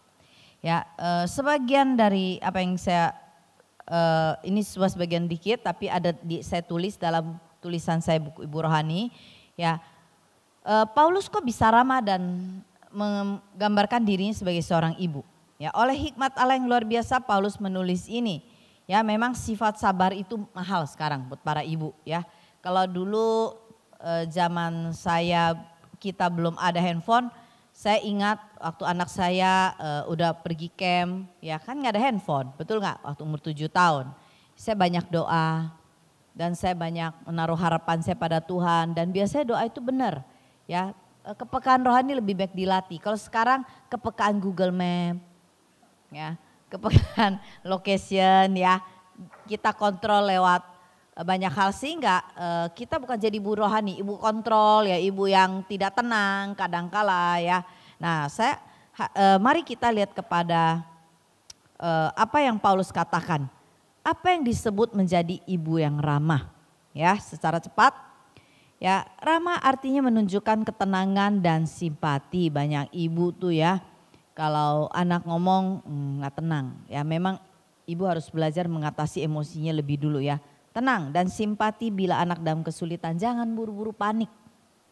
Ya, jangan buru-buru panik waktu anak saya punya masalah di sekolah ya. Kadang-kadang ketinggalan ini itu, kadang saya bilang nggak apa-apa kok ya, nggak masalah. Nah, sehingga waktu terjadi kita tidak terpancing untuk banyak berdebat. Nah, saya mendorong ibu-ibu jangan emosional kau temenin anak belajar ketika ia salah atau gagal Ya, memang waktu mengajar Unike berbeda dengan ngajar Benaya. Ya, ngajar Unike kadang begitu cepat. Satu kali tadi saya sudah katakan, kalau ngajar Benaya satu kalimat bisa 13 kali, tetapi saya tidak pernah putus harap. Ya, uh, saya ingat dulu uh, suami waktu kami deteksi Benaya punya masalah, uh, suami saya kan uh, sudah kerjanya waktu itu kalau nggak salah udah nggak profesional lagi ya maksudnya nggak sekuler lagi ya. Waktu itu saya bilang sama suami saya gini deh biar gampang saya bilang waktu itu tahun lima tahun berarti BNS 97 tambah 5 tahun 2003 kira-kira. Saya bilang sama suami saya gini deh uh, saya kerja lagi, saya balik kerja, saya dua wanita karir soalnya. Saya bilang uh, pakai karena butuh butuh obat obat konsentrasi itu kan mahal segala macam. Saya bilang kalau saya kerja, uh, saya nggak mau bebani pelayanan kamu, saya aja yang kerja. Suami saya bilang begini, tenang aja, kamu percaya nggak sama saya suamimu jadi kepalamu? Saya bilang saya percaya Tuhan. Terus dia bilang, kamu percaya nggak saya suami kamu? Ya akhirnya saya bilang oke okay, saya percaya Tuhan akan pakai kamu. Apa yang dilakukan oleh suami saya hampir tiap hari suami saya itu banyak bahasa roh aja tumpang tangan sama Benai. Saya pikir dia pakai cara apa gitu loh. Ternyata dia pakai cara baik doa bahasa roh aja. Dia tumpang tangan anak saya Benaya ya. Saya melihat banyak kemajuan dalam hidup Benai kalau sampai hari ini itu terjadi. Karena orang pada bilang ya eh, nggak uh, mungkin Benai bisa lulus SD, lulus SMP, lulus SMA. Kok tapi lewat terus sampai hari ini. Ya, uh, dan saya bisa melihat dan itu karena suami saya banyak berharap kepada Tuhan. Ya, dan saya belajar dalam keadaan itu untuk lebih tenang. Ibu-ibu harus ramah, ramah itu bukan luarnya tapi dalamnya. Ya, punya wajah ramah. Kita bisa melayani orang ramah loh, tapi sama anak kita kadang nggak ramah loh. Ya kita nggak sabar, kita nuntut mereka. Nah ibu-ibu penting sekali ya untuk mendampingi anak. Mengasuh dan merawat. Apa arti mengasuh dan merawat? Menyembuhkan hati anak. Ya memenuhi kebutuhan anak sehari-hari. Perhatikan, banyak ibu-ibu tidak tahu apa yang terjadi dalam hidup anaknya. Ya saya ingat saya pernah ketemu anak laki umur 27 tahun ya waktu mereka ada konflik dengan ibunya yang mereka pada ekonomi cukup anaknya bilang begini. Ya, mama nggak usah banyak bicara. Kaos kaki saya hilang satu, kaos kaki saya bolong. Tidak pernah mama seumur hidup tahu apa yang terjadi dengan hidup saya. Wah ibunya menangis sekali. Ya kenapa itu terjadi? Saya bilang, mbak ibunya ngapain aja kamu selama ini? Ah ibu tahulah saya sibuk lah. Ya sibuk apa? Pokoknya ibunya serba sibuk. Ya kalau dia, saya nyetir sama ibu ini selalu sibuk nyetirnya juga. Bikin saya harus pakai seat belt di belakang sekalipun. Ya. Jadi saya bisa melihat mengapa kadangkala kita nggak bisa menyentuh hati anak. Ya, karena seorang ibu itu perlu membimbing ya, eh, menolong anak. Ya, hal-hal kecil-kecil harus kita tolong mereka. Ya, bagaimana cara mereka mandi, cara mereka uh, bisa mengatasi emosinya, cara belajar, cara hadapi kegagalan itu ibu duluan loh yang harus maju loh. Ya, makanya saya suka bilang sama suami saya, uh, apa saya ada orang yang pertama harus tahu kondisi kesulitan. Walaupun saya bukan orang pertama yang menjadi jawaban tetapi saya yang tahu. Kenapa? Nggak semua jawaban ada di kita tetapi semua jawaban selalu ada di dalam doa kita. Karena Tuhan bisa pakai siapa pun. Nah, ibu-ibu saya kita nggak bisa berdoa dengan tidak tenang. Banyak ibu-ibu berdoa tapi tidak tenang. Banyak ibu-ibu melakukan doa berjam-jam tapi tidak mencapai e, bisa menyembuhkan anaknya. Jadi penting sekali buat kita bagaimana bisa melihat anak kita melakukan fungsi kita menjadi ibu rohani awalnya. Ya, bukan sekedar ibu yang menjawab kebutuhan apa yang terlihat. Yang ketiga adalah memberikan warisan rohani dan nilai-nilai kehidupan. 2 Timotius 1 ayat 5 berkata, Aku teringat akan imanmu yang tulus ikhlas yaitu iman yang hidup dalam siapa? Nenekmu Lois dan di dalam ibumu Yunike yang aku yakin hidup dalam dirimu. Menarik sekali, walaupun ada pertanyaan yang tadi pagi berkata saya eh, single parent, ingat ya bukan kebutuhan yang menjadi utama, tetapi bagaimana iman kita harus menjadi sesuatu uh, garis depan buat anak kita. Ya makanya sebagai ibu-ibu jangan jangan berhenti untuk menginjili anak kita sejak kecil. Terus ceritakan tentang pertobatan, tentang dia bagaimana bisa percaya Tuhan sungguh-sungguh, bagaimana dia bisa mengenal Allah, bagaimana anak bisa lahir baru, mengerti status anak Allah. Saya tahu persis kapan anak saya berpindah pengertiannya tidak sekedar anak papa mama tetapi dia anak Allah. Itulah titik balik dalam iman anak-anak kita. Kau Yunike mengalaminya 11 setengah tahun, kalau anak saya yang laki 14 tahun baru mulai mengenali itu. Ya, 16 tahun memang anak laki kadang lebih telat. Tapi saya tahu di situ. Karena saya sering mengecek bagaimana kondisi lahir baru. Makanya pendampingan rohani terhadap anak itu penting. Ibu-ibu harus mengerti.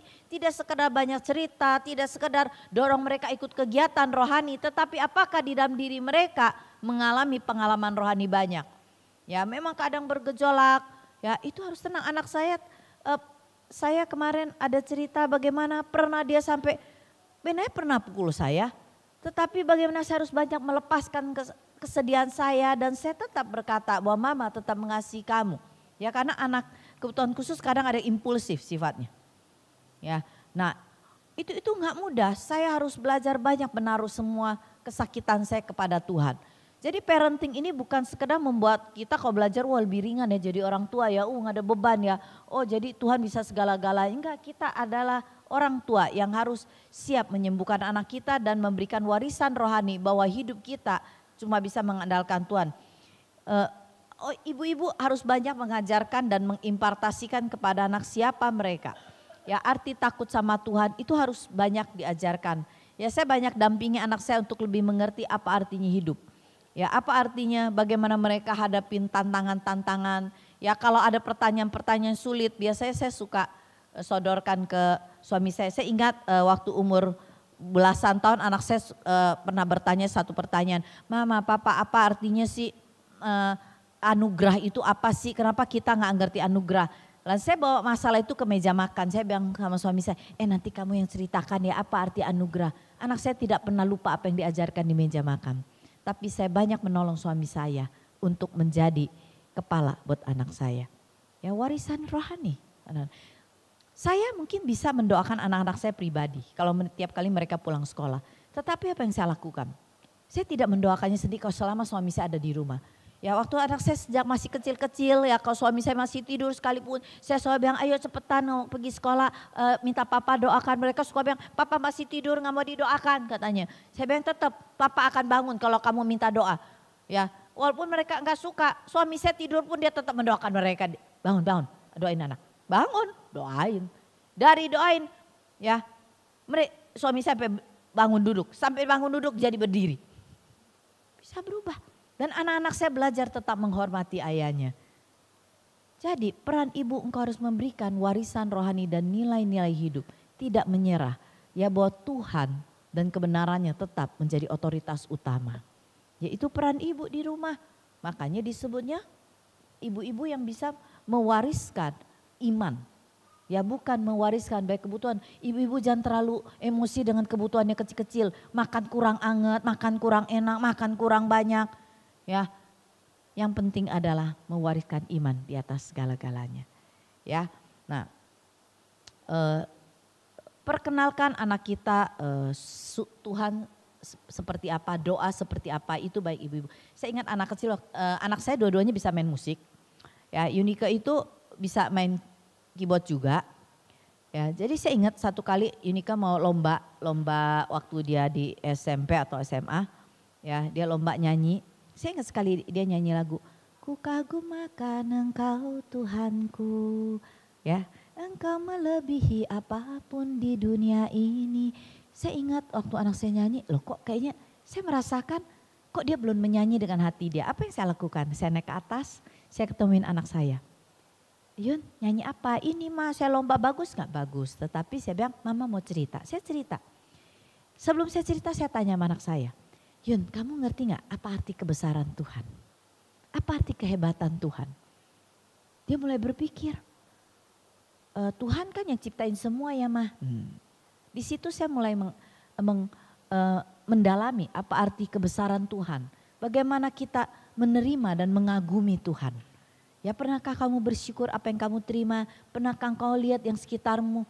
Ya apa hebatnya Tuhan? Nah, waktu kami bicara demikian anak saya berkata begini, ah sekarang saya ngerti bagaimana Tuhan bisa saya sembah lewat kebesaran dia. Dan dia nyanyi lagi dan saya dampingi dia. Dan dia menyanyi, dia bisa menangis. Dan dia berkata, mah kok beda ya sekarang nyanyinya. Ibu-ibu yang terkasih. Kadang kita pikir kegiatan hanyalah kegiatan. Kita tidak sadar itu kesempatan untuk anak-anak kita mengerti nilai-nilai rohani jauh lebih penting. Kadang kita kagum dengan apa yang kelihatan. Tapi sebenarnya kita harus melihat jauh lebih dalam. Saya tahu ini bukan hal yang mudah. Ini sulit. Tapi kita bisa melatih diri kita. Walaupun hal kecil, ingat kalau kita lakukan dengan benar, sekalipun itu waktunya sempit, pasti ada buahnya. Ya, kita tidak keburu banyak ceritakan karakter kepada anak kita. Ya, tetapi hari-hari ini kalau kita mau cerita kapan pun, ya memperkaya mereka, mereka selalu siap. Ya, jadi warisan nilai-nilai rohani adalah melihat bagaimana Tuhan bekerja dalam hidup mereka dan mereka tidak ditinggalkan oleh Tuhan dan itu yang senantiasa saya tanam. Ya, jadi itu peran seorang ibu? Katakan kiri kanan, kamu luar biasa. Kamu setia sampai akhir. Inilah akhirnya ya saya serahkan kepada siapa yang akan menutup semua nih. Tuhan memberkati saudara ya.